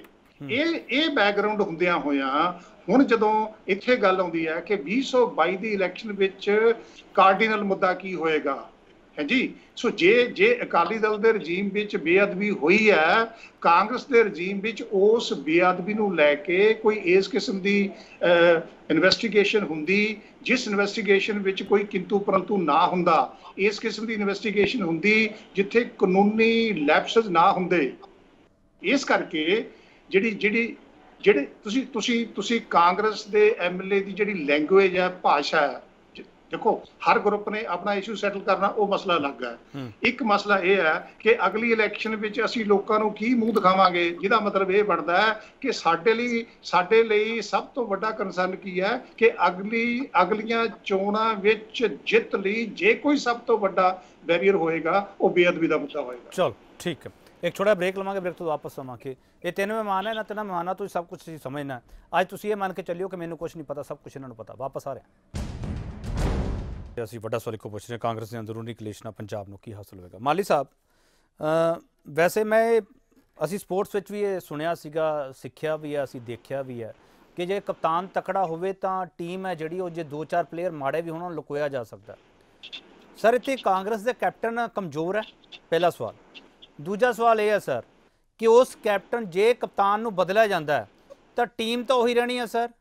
ਬੰਦੇ ਥੋੜੇ ਬਹੁਤੇ ਇਧਰ ਐਡਜਸਟ ਹੋ ਜਾਣਗੇ ਮਹਿਕਮੇ ਬਦਲ ਜਾਣਗੇ, ਮੈਂ ਉਹਨਾਂ ਦਾ ਸਵਾਲ ਨਹੀਂ ਕਰ ਰਿਹਾ ਸਰ ਜਿਨ੍ਹਾਂ ਨੇ ਜਾਂਚ ਕਰਨੀ ਅਫਸਰਾਂ ਨੇ, ਸਾਰੇ ਬੰਦੇ ਤਾਂ ਉਹੀ ਰਹਿਣੇ ਆ। ਕੋਈ ਕਿਸੇ ਧਿਰ ਨਾਲ ਜੁੜ ਗਿਆ, ਕੋਈ ਕਿਸੇ ਧਿਰ ਨਾਲ ਜੁੜ ਗਿਆ ਹਮੇਸ਼ਾ ਇਲਜ਼ਾਮ ਲੱਗਦੇ ਪਏ ਆ। ਬਾਜਵਾ ਸਾਹਿਬ ਇਹ ਸਵਾਲ ਚੱਕਦੇ ਪਏ ਆ ਕਿ ਅਫਸਰਸ਼ਾਹੀ ਹੈ ਜਿਹੜੀ ਉਹ ਪੰਜਾਬ ਨੂੰ ਖਰਾਬ ਕਰਦੀ ਪਈ ਹੈ ਮਾਲੀ ਸਾਹਿਬ, ਦੋ ਟੇਕ ਤੁਹਾਡੇ ਤੋਂ ਚਾਹੀਦੇ ਆ। ਇੱਕ ਪੰਜਾਬ ਦਾ ਕਪਤਾਨ ਬਦਲਣਾ ਮਸਲੇ ਦਾ ਹੱਲ ਹੋਊਗਾ, ਇੱਕ ਜਾਂ ਅਫਸਰਾਂ ਤੋਂ ਕੰਮ ਕਰਾਉਣ ਵਾਲਾ ਕਪਤਾਨ ਚਾਹੀਦਾ। ਦੇਖੋ ਜੀ ਪਹਿਲੀ ਗੱਲ ਹੈ ਇਹ ਲੜਾਈ ਕਪਤਾਨ ਬਦਲਦੀ ਹੈ ਨਹੀਂ ਹੁਣ। ਇਹ ਲੜਾਈ ਇਹ ਆ ਵੀ 2022 ਦੇ ਵਿੱਚ ਕਿਹੜੇ ਮੁੱਦੇ ਮਸਲੇ ਲੈਣੇ ਆ ਤੇ ਕਿਹਦੀ ਅਗਵਾਈ ਹੋਣੀ ਆ। ਮੁੱਦਾ ਉਹ ਤੇ ਕੇਂਦਰਤਾ ਇਹ ਠੀਕ ਆ ਕੈਪਟਨ ਆ ਜਿਹੜਾ ਉਹਦੇ ਆਪਣੇ ਲੋਕ ਸੰਪਰਕ ਵਿਭਾਗ ਵੱਲੋਂ ਇਹ ਗੱਲਾਂ ਛੱਡੀਆਂ ਜਾਂਦੀਆਂ ਨੇ ਮਹਿਕਮੇ ਬਦਲੇ ਜਾਣਗੇ ਕਿਉਂਕਿ ਹਰ ਇੱਕ ਵਾਰ ਜਦੋਂ ਪ੍ਰੋਬਲਮ ਆਉਂਦੀ ਆ ਉਹ ਇਹ ਕਹਿੰਦੇ ਨੇ ਮਹਿਕਮੇ ਬਦਲੇ ਜਾਣਗੇ ਜਿਹਦਾ ਮਤਲਬ ਕੁਝ ਮਹਿਕਮੇ ਬਦਲਣ ਦੇ ਡਰ ਤੋਂ ਤੇ ਕੁਝ ਨਵੇਂ ਆਉਣ ਦੇ ਚਾਅ ਤੋਂ ਇਹ ਇਹਦੇ ਵਿੱਚ ਉਰਾ ਪਰਾਂ ਹੋ ਜਾਣਗੇ। ਪਰ ਹੁਣ ਜਿਹੜੀ ਹਾਲਾਤ ਆ ਉਹ ਮਹਿਕਮਾ ਬਦਲਣ ਦੀ ਨਹੀਂ ਹੈ। ਹੁਣ ਹਾਲਤ ਇਹ ਆ ਹਰ ਇੱਕ ਸੋਚਦਾ ਵੀ ਬਾਈ ਚ ਜਾਨ ਬਚੂ ਜਾਂ ਨਹੀਂ ਬਚੂ। ਉਹ ਜਾਨ ਕਿਵੇਂ ਬਚ ਸਕਦੀ ਆ ਕਾਂਗਰਸ ਕਿਵੇਂ ਸਰਵਾਈਵ ਕਰ ਸਕਦੀ ਆ ਇਹ ਮਸਲਾ ਹੁਣ ਸਭ ਤੋਂ ਵੱਡਾ ਧਿਆਨ ਦੇ ਵਿੱਚ ਹੈ। ਕਿ ਇਸ ਗੱਲ ਦੇ ਵਿੱਚ ਕੋਈ ਰੌਲਾ ਨਹੀਂ ਕਿ ਇਸ ਕੈਪਟਨ ਦੀ ਕਾਰਗੁਜ਼ਾਰੀ ਆ ਜਿਹੜੀ ਉਹ ਨਖਿੱਧ ਕਾਰਗੁਜ਼ਾਰੀ ਆ। ਕਾਰਗੁਜ਼ਾਰੀ ਦੇ ਆਧਾਰ ਤੇ ਇੱਕੋ ਇੱਕ ਜਿਹੜਾ ਮਸਲਾ ਸੀ, ਜੇ ਇਹਨੂੰ ਸਹੀ ਤਰੀਕੇ ਨਾਲ ਹੱਲ ਕਰ ਲੈਂਦੇ ਆ ਬੇਅਦਬੀ ਕਾਂਡ ਨੂੰ, ਫਿਰ ਹੋ ਸਕਦਾ ਜਿਵੇਂ ਕਿਸਾਨ ਅੰਦੋਲਨ ਇਹਨਾਂ ਨੇ ਸਿਆਣਪ ਨਾਲ ਹੱਲ ਕਰ ਲਿਆ ਸੀ, ਤਾਂ ਇੱਕ ਪਰਸੈਪਸ਼ਨ ਬਣਦੀ ਸੀ ਵੀ ਕੈਪਟਨ ਅਮਰਿੰਦਰ ਰਿਪੀਟ ਕਰ ਸਕਦਾ। ਇਹਦੇ ਆਸਰੀ ਉਹਨੇ ਕਿਹਾ ਸੀ, ਪਹਿਲਾਂ ਕਹਿੰਦਾ ਸੀ ਮੇਰੀ ਲਾਸਟ ਚੋਣ ਆ ਫਿਰ ਕਿਹਾ ਸੀ ਨਹੀਂ, ਜਦੋਂ ਤੱਕ ਪੰਜਾਬ ਦੇ ਦੁੱਖ ਹਰ ਨਹੀਂ ਹੁੰਦੇ, ਉਦੋਂ ਤੱਕ ਮੈਂ ਸਿਆਸਤ ਕਰੂੰਗਾ। ਪਰ ਇਹ ਇੱਕ ਵੱਡਾ ਚੈਲੰਜ ਆ ਗਿਆ ਉਹਨਾਂ ਨੂੰ। ਇਸ ਕਰਕੇ ਜਿਹੜਾ ਦੋ ਪੱਖਾਂ ਤੋਂ ਵਿਰੋਧ ਹੋ ਰਿਹਾ ਇੱਕ ਤਾਂ ਇਹ ਆ ਵੀ ਇਹ ਸਾਰਾ ਠੀਕਰਾ ਕਾਂਗਰਸ ਦੇ ਸਿਰ ਭੰਨਣ ਦੀ ਥਾਂ, ਕੈਪਟਨ ਦੇ ਸਿਰ ਭੰਨਿਆ ਜਾਵੇ, ਉਹਦੀ ਅਗਵਾਈ ਦੇ ਵਿੱਚ ਇਹ ਬੇਅਦਬੀ ਮਸਲਾ ਹੱਲ ਨਹੀਂ ਹੋ ਸਕਿਆ। ਦੂਜੀ ਗੱਲ, ਜਿਹੜਾ ਕਿਸਾਨ ਅੰਦੋਲਨ ਆ, ਉਹ ਵੀ ਇਹ ਮੰਗ ਕਰਦਾ ਪੰਜਾਬ ਦੀ ਸਿਆਸਤ ਦੇ ਵਿੱਚ ਨੀਤੀ ਪੈਂਤਨਾ 'ਚ ਤਬਦੀਲੀ ਕੀਤੀ ਜਾਵੇ। ਦੂਜੇ ਪਾਸੇ ਨਵਜੋਤ ਸਿੰਘ ਸਿੱਧੂ ਆ ਜਿਹੜਾ, ਉਹ ਉਹੀ ਜੀ ਸਿਆਸਤ ਨੂੰ ਹੰਗਾਰਾ ਭਰ ਰਿਹਾ। ਤੇ ਉਸ ਸਿਆਸਤ ਤੇ ਆਉਣ ਲਈ ਕੋਈ ਵੀ ਪਾਰਟੀ ਤਿਆਰ ਨਹੀਂ। ਇੱਕ ਕਹਿੰਦੇ ਆ 85% ਪੂਰੇ ਕਰਤੇ 15 ਕਰ ਦਾਂਗੇ। ਦੂਜਾ ਕਹਿੰਦਾ ਜਵਾਬ ਦਿਓ, ਕੀ ਕੀਤਾ? ਤੀਜਾ ਇਹ ਕਹਿੰਦਾ ਜਿਹੜੇ ਦੋਹਾਂ ਨੇ ਪੂਰੇ ਕੀਤੇ, ਅਸੀਂ ਕਰ ਦਾਂਗੇ। ਸੋ ਪੰਜਾਬ ਦੀ ਸਿਆਸਤ ਦੇ ਵਿੱਚ ਜਿਹੜੀ ਤਬਦੀਲੀ ਦੀ ਲੋੜ ਆ, ਚਾਹੇ ਉਹਨੂੰ ਬਦਲਵੀਂ ਸਿਆਸਤ ਦੀ ਗੱਲ ਕਹਿ ਲਓ, ਜਾਂ ਪ੍ਰਚਲਿਤ ਸਿਆਸਤ ਤਬਦੀਲੀ ਕਰਨ ਦੀ ਲੋੜ ਆ, ਮੁੱਦਿਆਂ ਤੇ ਸਿਆਸਤ ਲਿਆਉਣ ਦੀ ਲੋੜ ਆ, ਉਹ ਤੋਂ ਕਿਨਾਰਾ ਕਰ ਰਹੇ ਨੇ ਸਾਰੇ। ਇਸੇ ਕਰਕੇ ਦਲਤ ਐਮਐਲਏ ਦੀ ਮੀਟਿੰਗ ਹੋ ਰਹੀ ਆ, ਕਿਉਂਕਿ ਕਾਂਗਰਸ ਨੇ ਇਹ ਕਹਿੰਦਾ ਭਾਜਪਾ ਨੇ ਦਲਤ ਮੁੱਖ ਮੰਤਰੀ ਬਣੂ। ਅਕਾਲੀ ਦਲ ਨੇ ਕਹਿੰਦਾ ਡਿਪਟੀ ਸੀਐਮ ਬਣੂ। ਇਸ ਕਰਕੇ ਕਾਂਗਰਸ ਦੇ ਵਿੱਚ ਇੱਕ ਦਲਤ ਤੇਰਾ ਜਿਹੜੀ ਉਹ ਵੀ ਇਕੱਠੀ ਹੋ ਰਹੀ ਆ। ਵੀ ਦਲਤਾਂ ਦਾ ਹੁਣ ਤੱਕ ਕੀ ਕੀਤਾ, ਕੀ ਏਜੰਡਾ ਕੀਤਾ, ਕੀ ਨਹੀਂ ਕੀਤਾ। ਸੋ ਇਸ ਕਰਕੇ ਮੁੱਦਿਆਂ ਦੀ ਸਿਆਸਤ ਨਹੀਂ ਹੋ ਰਹੀ। ਇਹ ਬੰਦੇ ਦੇ ਬੰਦੇ ਤੇ ਬੰਦਿਆਂ ਦੇ ਵਿਰੋਧੀਆਂ ਦੀ ਸਿਆਸਤ ਕੀਤੀ ਜਾ ਰਹੀ ਹੈ। ਚਲੋ, ਮਾਲੀ ਸਾਹਿਬ, ਤੁਸੀਂ ਇਹ ਗੱਲ ਕਹਿਤੀ ਕਿ ਬੰਦਿਆਂ ਦੇ ਬੰਦਿਆਂ ਦੀ ਸਿਆਸਤ ਕੀਤੀ ਜਾ ਰਹੀ ਹੈ। ਜਿਹੜੇ ਪੰਜ ਦੇ ਪੰਜ ਚਿਹਰੇ ਅਸੀਂ ਤੁਹਾਨੂੰ ਦੱਸ ਰਹੇ ਹਾਂ, ਸਰ, ਉਹ ਸਿੱਧੂ ਸਾਹਿਬ ਨੂੰ ਮੰਨ ਲੈਣਗੇ ਕਿ ਸਿੱਧੂ ਸਾਹਿਬ ਦੀ ਵਿਚਾਰਧਾਰਾ ਤੇ ਚੋਣ ਲੜੀ ਜਾਵੇ? ਰਵਨੀਤ ਬਿੱਟੂ, ਪ੍ਰਤਾਪ ਸਿੰਘ ਬਾਜਵਾ, ਸੁਖਿੰਦਰ ਰੰਧਾਵਾ, ਚਰਨਜੀਤ ਚੰਨੀ। ਚਲੋ ਮੈਂ ਮੰਨ ਕੇ ਚੱਲਦਾ ਸਰ, ਸੁਖਿੰਦਰ ਰੰਧਾਵਾ, ਚਰਨਜੀਤ ਚੰਨੀ ਨੂੰ ਤੁਸੀਂ ਪਾਸੇ ਰੱਖ ਕੇ ਚੱਲ ਸਕਦੇ ਹੋ। ਰਵਨੀਤ ਬਿੱਟੂ ਤੇ ਪ੍ਰਤਾਪ ਬਾਜਵਾ ਸਰ ਮੰਨ ਲੈਣਗੇ ਸਿੱਧੂ ਸਾਹਿਬ ਦੀ ਗੱਲ? ਬਿਲਕੁਲ ਨਹੀਂ ਜੀ। ਜੋ ਸਿੱਧੂ ਆ ਜਿਹੜਾ, ਉਹ ਵਿਚਾਰਾਂ ਤੇ ਸੁਧਾਰਾਂ ਦੇ ਆਸਰੇ ਅਗਲੀ ਲੜਾਈ ਲੜਨਾ ਚਾਹੁੰਦਾ। ਇਹ ਕਾਰਗੁਜ਼ਾਰੀ ਦੇ ਆਸਰੇ ਲੜਾਈ ਲੜਨਾ ਚਾਹੁੰਦੇ ਆ। ਕਾਰਗੁਜ਼ਾਰੀ ਦੀ ਜਿਹੜੀਆਂ ਗਲਤੀਆਂ ਨੇ, ਉਹ ਇੱਕ ਦੂਜੇ ਦੇ ਸਿਰ ਫਿਕਰਾ ਭੰਨਣਾ ਚਾਹੁੰਦੇ ਆ। ਜਿਹੜਾ ਵਨੀਤ ਬਿੱਟੂ ਆ ਉਹ ਨਵਾਂ ਵਿਰਾਸਤ ਬਣਨਾ ਚਾਹੁੰਦਾ, ਜਿਹੜੀ ਨਵੀਂ ਪੀੜ੍ਹੀ ਬਦਲ ਹੋਣੀ ਆ, ਇੱਕ ਪਾਸੇ ਸਿੱਧੂ ਆ ਰਿਹਾ, ਕੋਈ ਹੋਰ ਵੀ ਆ ਸਕਦਾ। ਪਰ ਕਿਉਂਕਿ ਉਹ ਬੇਅੰਤ ਸਿੰਘ ਦੀ ਵਿਰਾਸਤ ਨੂੰ ਬੁਲੰਦ ਕਰਦਾ, ਉਹ ਉਹਨੂੰ ਜਸਟੀਫਾਈ ਕਰਦਾ, ਜਿਹਨੂੰ ਹੁਣ ਤੱਕ ਕਾਂਗਰਸ ਨੇ ਨਹੀਂ ਕੀਤਾ, ਕੈਪਟਨ ਅਮਰਿੰਦਰ ਨੇ ਵੀ ਨਹੀਂ ਕਦੇ ਕੀਤਾ, ਸਗੋਂ ਵਿਰੋਧ ਦੇ ਵਿੱਚ ਚੱਲਦਾ ਰਿਹਾ। ਇਸ ਕਰਕੇ ਰਵਨੀਤ ਬਿੱਟੂ ਆ, ਜਿਹੜਾ ਕੱਲ ਤੱਕ ਜਿਹੜਾ ਰਾਜੇ ਦੇ ਗੁਣ ਗਾਉਂਦਾ ਸੀ, ਜਿਹੜਾ ਆਪਣੇ ਨਵਜੋਤ ਸਿੰਘ ਸਿੱਧੂ ਦਾ ਵਿਰੋਧ ਕਰਦਾ ਸੀ, ਜਦੋਂ ਉਹਨੂੰ ਲੱਗਿਆ ਲੀਡਰਸ਼ਿਪ ਬਦਲਣ ਦਾ ਸਵਾਲ ਆ ਗਿਆ ਤਾਂ ਮੁੜ ਕੇ ਉਹ ਵੀ ਵਰਿੰਦਰ ਦੇ ਖਿਲਾਫ ਆ ਗਿਆ ਤੇ ਕਹਿਣ ਲੱਗ ਗਿਆ। ਮੁੱਖ ਮੰਤਰੀ ਮੈਂ ਵੀ ਬਣ ਸਕਦਾ 22 ਜਾਂ 27 ਨੂੰ। ਪਰ। ਜਿਹੜੀ ਨੀਤ ਨੀਤੀ ਤੇ ਉਹ ਚੱਲਦਾ ਉਹ ਭੁੱਲ ਜਾਓ ਪੰਜਾਬ ਦਾ ਮੁੱਖ ਮੰਤਰੀ ਨਹੀਂ ਬਣ ਸਕਦਾ। ਇਹ ਬੜਾ ਬੜਾ ਵੈਲਿਡ ਪੁਆਇੰਟ ਹੈ। ਭੋਗਲ ਸਾਹਿਬ ਤੁਸੀਂ ਨਾਲ ਦੀਆਂ ਸਿਰ ਲਾਉਣਾ ਸ਼ੁਰੂ ਕਰਤਾ ਜੀ ਰਵਨੀਤ ਬਿੱਟੂ ਦਾ ਜ਼ਿਕਰ ਹੋਣ ਲੱਗ ਪਿਆ। ਤੁਸੀਂ ਲੁਧਿਆਣੇ ਬੈਠੇ ਹੋ ਤਾਂ ਕਰਕੇ ਤੁਹਾਨੂੰ ਜ਼ਿਆਦਾ ਪਤਾ ਹੈ। ਭੋਗਲ ਸਾਹਿਬ ਰਵਨੀਤ ਬਿੱਟੂ। ਦੀ ਪੋਲਿਟਿਕਸ ਹੈ ਜਿਹੜੀ ਉਹ ਕੀ ਹੈ ਪੋਲਿਟਿਕਸ ਸਰ ਮੈਨੂੰ ਮੈਨੂੰ ਹਜੇ ਤੱਕ ਸਮਝ ਨਹੀਂ ਆਈ ਰਵਨੀਤ ਬਿੱਟੂ ਦੀ ਪੋਲਿਟਿਕਸ ਕੀ ਹੈ। ਮੈਨੂੰ ਸਾਨੂੰ ਜਿੱਦ ਤੱਕ ਸਮ- ਸਮਝ ਆਈ ਹੈ ਸਾਨੂੰ ਇਹ ਸਮਝ ਆਈ ਹੈ ਕਿ ਰਵਨੀਤ ਬਿੱਟੂ ਹਿੰਦੂ ਵੋਟ ਬੈਂਕ ਦੀ ਪੋਲਿਟਿਕਸ ਕਰਦੇ ਲੁਧਿਆਣੇ 'ਚ। ਭੋਗਲ ਸਾਹਿਬ ਜੇ ਇਸ ਤੋਂ ਜ਼ਿਆਦਾ। ਤੁਹਾਨੂੰ ਕੁਝ ਪਤਾ ਤਾਂ ਸਰ ਮੈਨੂੰ ਦੱਸ ਦਿਓ। ਮੈਨੂੰ ਤਾਂ ਸਰ ਇੰਨਾ ਕੀ ਪਤਾ ਲੱਗਿਆ। ਨਹੀਂ ਤੁਹਾਡੀ ਆਬਜ਼ਰਵੇਸ਼ਨ ਬਿਲਕੁਲ ਠੀਕ ਹੈ ਕਿ ਉਸ ਦਾ ਬੇਅੰਤ ਸਿੰਘ ਦੀ ਲੈਗੇਸੀ ਨੂੰ ਇਸ ਤਰੀਕੇ ਨਾਲ ਇਨਕੈਸ਼ ਕਰਨਾ ਚਾਹੁੰਦੇ ਆ ਕਿ ਉਹ he is a saviour of Punjab ਔਰ ਹਿੰਦੂ ਜਿਹੜੀ ਵੋਟ ਹੈਗੀ ਹੈ ਉਸ ਦੀ ਉਹ ਕਲੇਮ ਇਸ ਤਰੀਕੇ ਨਾਲ ਕਰਨਾ ਚਾਹੁੰਦੇ ਆ। ਲੇਕਿਨ ਪਿਛਲੇ ਕਾਫੀ ਦੇਰ ਤੋਂ ਜਦੋਂ ਦੇ ਮੈਂਬਰ ਪਾਰਲੀਮੈਂਟ ਇਥੋਂ ਹੈਗੇ ਆ ਉਹਨਾਂ ਦੀ ਜਿਹੜੀ ਜਿਸ ਤਰ੍ਹਾਂ ਦੀ ਪੋਲੀਟੀਕਲ ਪਰਫਾਰਮੈਂਸ ਹੋ ਸਕਦੀ ਸੀ, ਸਰਦਾਰ ਬੇਅੰਤ ਸਿੰਘ ਦੀ ਫੈਮਿਲੀ ਦਾ ਮੈਂਬਰ ਹੋਣ ਕਰਕੇ, ਜਿਸ ਤਰ੍ਹਾਂ ਦੇ ਡਾਇਨਾਮਿਕ ਤਰੀਕੇ ਨਾਲ ਉਹ ਕਰ ਸਕਦੇ ਸੀ, ਉਹ ਉਸ ਤਰ੍ਹਾਂ ਦੀ ਨਜ਼ਰ ਵੀ ਨਹੀਂ ਆਈ। ਉਹ ਤਕਰੀਬਨ ਤਕਰੀਬਨ ਜਿਹੜੇ ਹੈ, ਮਤਲਬ ਇੱਕ ਲੈਕਲਸਟਰ ਦੀ ਪਰਫਾਰਮੈਂਸ ਰਹੀ ਹੈ। ਕਨਸਟੀਟੂਐਂਸੀ ਦੇ ਵਿੱਚ ਵੀ ਕੋਈ ਬਹੁਤਾ ਜ਼ਿਆਦਾ ਉਹਨਾਂ ਦਾ ਜਿਹੜਾ ਪ੍ਰਭਾਵ ਕਦੇ ਦੇਖਣ ਨੂੰ ਨਹੀਂ ਮਿਲਿਆ ਲੁਧਿਆਣੇ ਦੇ ਵਿੱਚ। ਇੱਥੇ ਜਿਹੜੇ food and civil supplies minister ਹੈ Bharat Bhushan Ashu he is dominating the show ਔਰ ਉਹਦੇ ਨਾਲ ਵੀ ਉਹਨਾਂ ਦੇ ਜਿਹੜੇ ਹੈ, ਕਿਤੇ ਨਾ ਕਿਤੇ ਕੋਈ ਡਿਫਰੈਂਸਸ ਰਹਿੰਦੇ ਆ। ਤੋ ਐਂਬੀਸ਼ਨ ਜ਼ਰੂਰ ਹੋਏਗੀ ਉਹਨਾਂ ਦੀ। ਐਂਬੀਸ਼ਨ ਰੱਖਣਾ ਕੋਈ ਔਖਾ ਨਹੀਂ। ਤੁਸੀਂ ਆਪਣੇ ਖਾਬ ਪਾਲ ਸਕਦੇ ਹੋ। ਲੇਕਿਨ ਕਿਤੇ ਵੀ ਉਸ ਤਰ੍ਹਾਂ ਦਾ ਜਿਹੜਾ ਇੱਕ ਲੀਡਰਸ਼ਿਪ ਦੇ ਵਿੱਚ ਡਾਇਨਾਮਿਸ ਡਾਇਨਾਮਿਜ਼ਮ ਹੋਣਾ ਚਾਹੀਦਾ, ਉਹ ਉਹਨਾਂ ਦੇ ਵਿੱਚ ਨਹੀਂ ਹੈਗਾ। ਜਿਸ ਤਰ੍ਹਾਂ ਮਾਲੀ ਸਾਹਿਬ ਨੇ ਕਿਹਾ ਕਿ ਉਹਦੀ ਖਾਹਿਸ਼ ਜ਼ਰੂਰ ਹੈ ਕਿ ਉਸ ਲੈਗੇਸੀ ਨੂੰ, ਉਸ ਧਰੋਹਰ ਨੂੰ ਉਹ ਸ਼ਾਇਦ ਅਨਕੈਸ਼ ਕਰਾਉਣਾ ਚਾਹੁੰਦਾ ਹੈ, ਪਰ ਉਸ ਤਰ੍ਹਾਂ ਦੀ ਉਹਦੇ ਵਿੱਚ ਡਰਾਈਵ ਨਹੀਂ ਹੈਗੀ। ਨਾ ਹੀ ਉਸ ਤਰ੍ਹਾਂ ਦਾ ਉਹਦੇ ਉਹਦੇ ਦਾ ਕੋਈ ਜਿਹੜਾ ਹੈ, ਉਸ ਤਰ੍ਹਾਂ ਦਾ ਕੋਈ ਪਾਲਿਸੀਜ਼ ਦੇ ਉੱਤੇ ਉਹਦਾ ਕੋਈ ਸਟੈਂਡ ਹੈ। ਸੋ ਇਸ ਤਰ੍ਹਾਂ ਦੀ ਮੇਰੀ ਉਹਦੇ ਬਾਰੇ ਆਬਜ਼ਰਵੇਸ਼ਨ ਹੈ। ਠੀਕ ਹੈ। ਕੁਲਦੀਪ ਸਿੰਘ ਜੀ ਸਰ ਤੁਹਾਡੇ ਲਈ ਸਵਾਲ ਸਰ ਔਖਾ ਹੈ ਪਰ ਹੈ ਬੜਾ ਸਧਾਰਨ ਸਵਾਲ ਹੈ। ਕਿ ਆਖਰੀ ਸਾਲ ਪੰਜਾਬ ਦੇ ਮੁੱਖ ਮੰਤਰੀ ਨੂੰ ਬਦਲਿਆ ਜਾ ਸਕਦਾ ਹੈ? ਕਾਂਗਰਸ ਲਈ ਇਹ ਸਰ ਚੰਗਾ ਰਹੂਗਾ? ਕਾਂਗਰਸ ਇਹ ਸੰਕੇਤ ਦੇ ਸਕਦੀ ਹੈ ਜਾਂ ਨਹੀਂ? ਕੁਲਦੀਪ ਸਿੰਘ। ਦੇਖੋ ਮੈਂ ਦੋ ਗੱਲਾਂ ਕੈਪਟਨ ਬਾਰੇ ਕਹਿਣੀਆਂ ਨੇ। ਪਹਿਲੀ ਗੱਲ ਤਾਂ ਇਹ ਕਾਂਗਰਸ ਦੇ ਅੰਦਰ ਮੈਂ ਮੈਂ ਜੋ ਕਾਂਗਰਸ ਨੇ ਪਿਛਲੇ 4 ਸਾਲ ਚ ਕੀਤਾ ਉਹਨੂੰ ਡਿਫੈਂਡ ਨਹੀਂ ਕਰ ਰਿਹਾ। ਮੇਰੀ ਅਸੈਸਮੈਂਟ ਇਹ ਇਸ ਗੱਲ ਦੇ ਬਾਵਜੂਦ ਮੇਰੀ ਅਸੈਸਮੈਂਟ ਇਹ ਹੈ ਕਿ ਕਾਂਗਰਸ ਦੇ ਅੰਦਰ ਕੈਪਟਨ ਤੋਂ ਵੱਡਾ ਬੰਦਾ ਇਹਨਾਂ ਕੋਲ ਨਹੀਂ ਹੈਗਾ। ਸਿੱਧੂ ਸਾਹਿਬ ਜੀ ਇਸ ਮਾਫ ਕਰਨਾ ਸਰ ਰੋਕ ਰੋਕ ਰਿਹਾ ਸਰ ਰੋਕ ਰਿਹਾ। ਸਰ ਇਸ ਵਕਤ ਪੰਜਾਬ ਵੱਡਾ ਬੰਦਾ ਨਹੀਂ ਮੰਗਦਾ ਪਿਆ।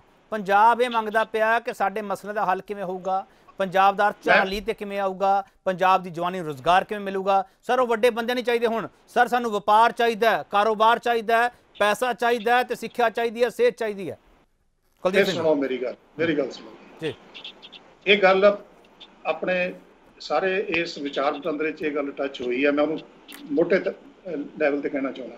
ਜੀ। ਪਾਰਟੀਆਂ ਨੂੰ ਇਹ ਗੱਲ ਬਹੁਤ ਸੂਟ ਕਰਦੀ ਹੈ ਕਿ ਜਿਹੜੀ ਜਿਹੜੀ ਜਿਹੜੀ ਇਲੈਕਸ਼ਨ ਤੁਸੀਂ ਇੱਕ ਸੋਲਿਡ ਪ੍ਰੋਗਰਾਮ ਦੇ ਕੇ ਲੜੀ ਹੈ ਜੇ ਤੁਸੀਂ ਉਹਦੇ ਤੇ ਪਰਫਾਰਮ ਨਹੀਂ ਕੀਤਾ ਤੇ ਫਿਰ ਇੱਕ ਨਵਾਂ ਮੁੱਦਾ ਇਨਵੈਂਟ ਕਰ ਲਓ ਜਿਹੜਾ ਜਿਹੜਾ ਅਸਲੀ ਮੁੱਦਿਆਂ ਨੂੰ ਜਿਹਦਾ ਤੁਸੀਂ ਜ਼ਿਕਰ ਕਰਦੇ ਹੋ ਬੈਕਗ੍ਰਾਉਂਡ ਚੱਲ ਜਾਣ।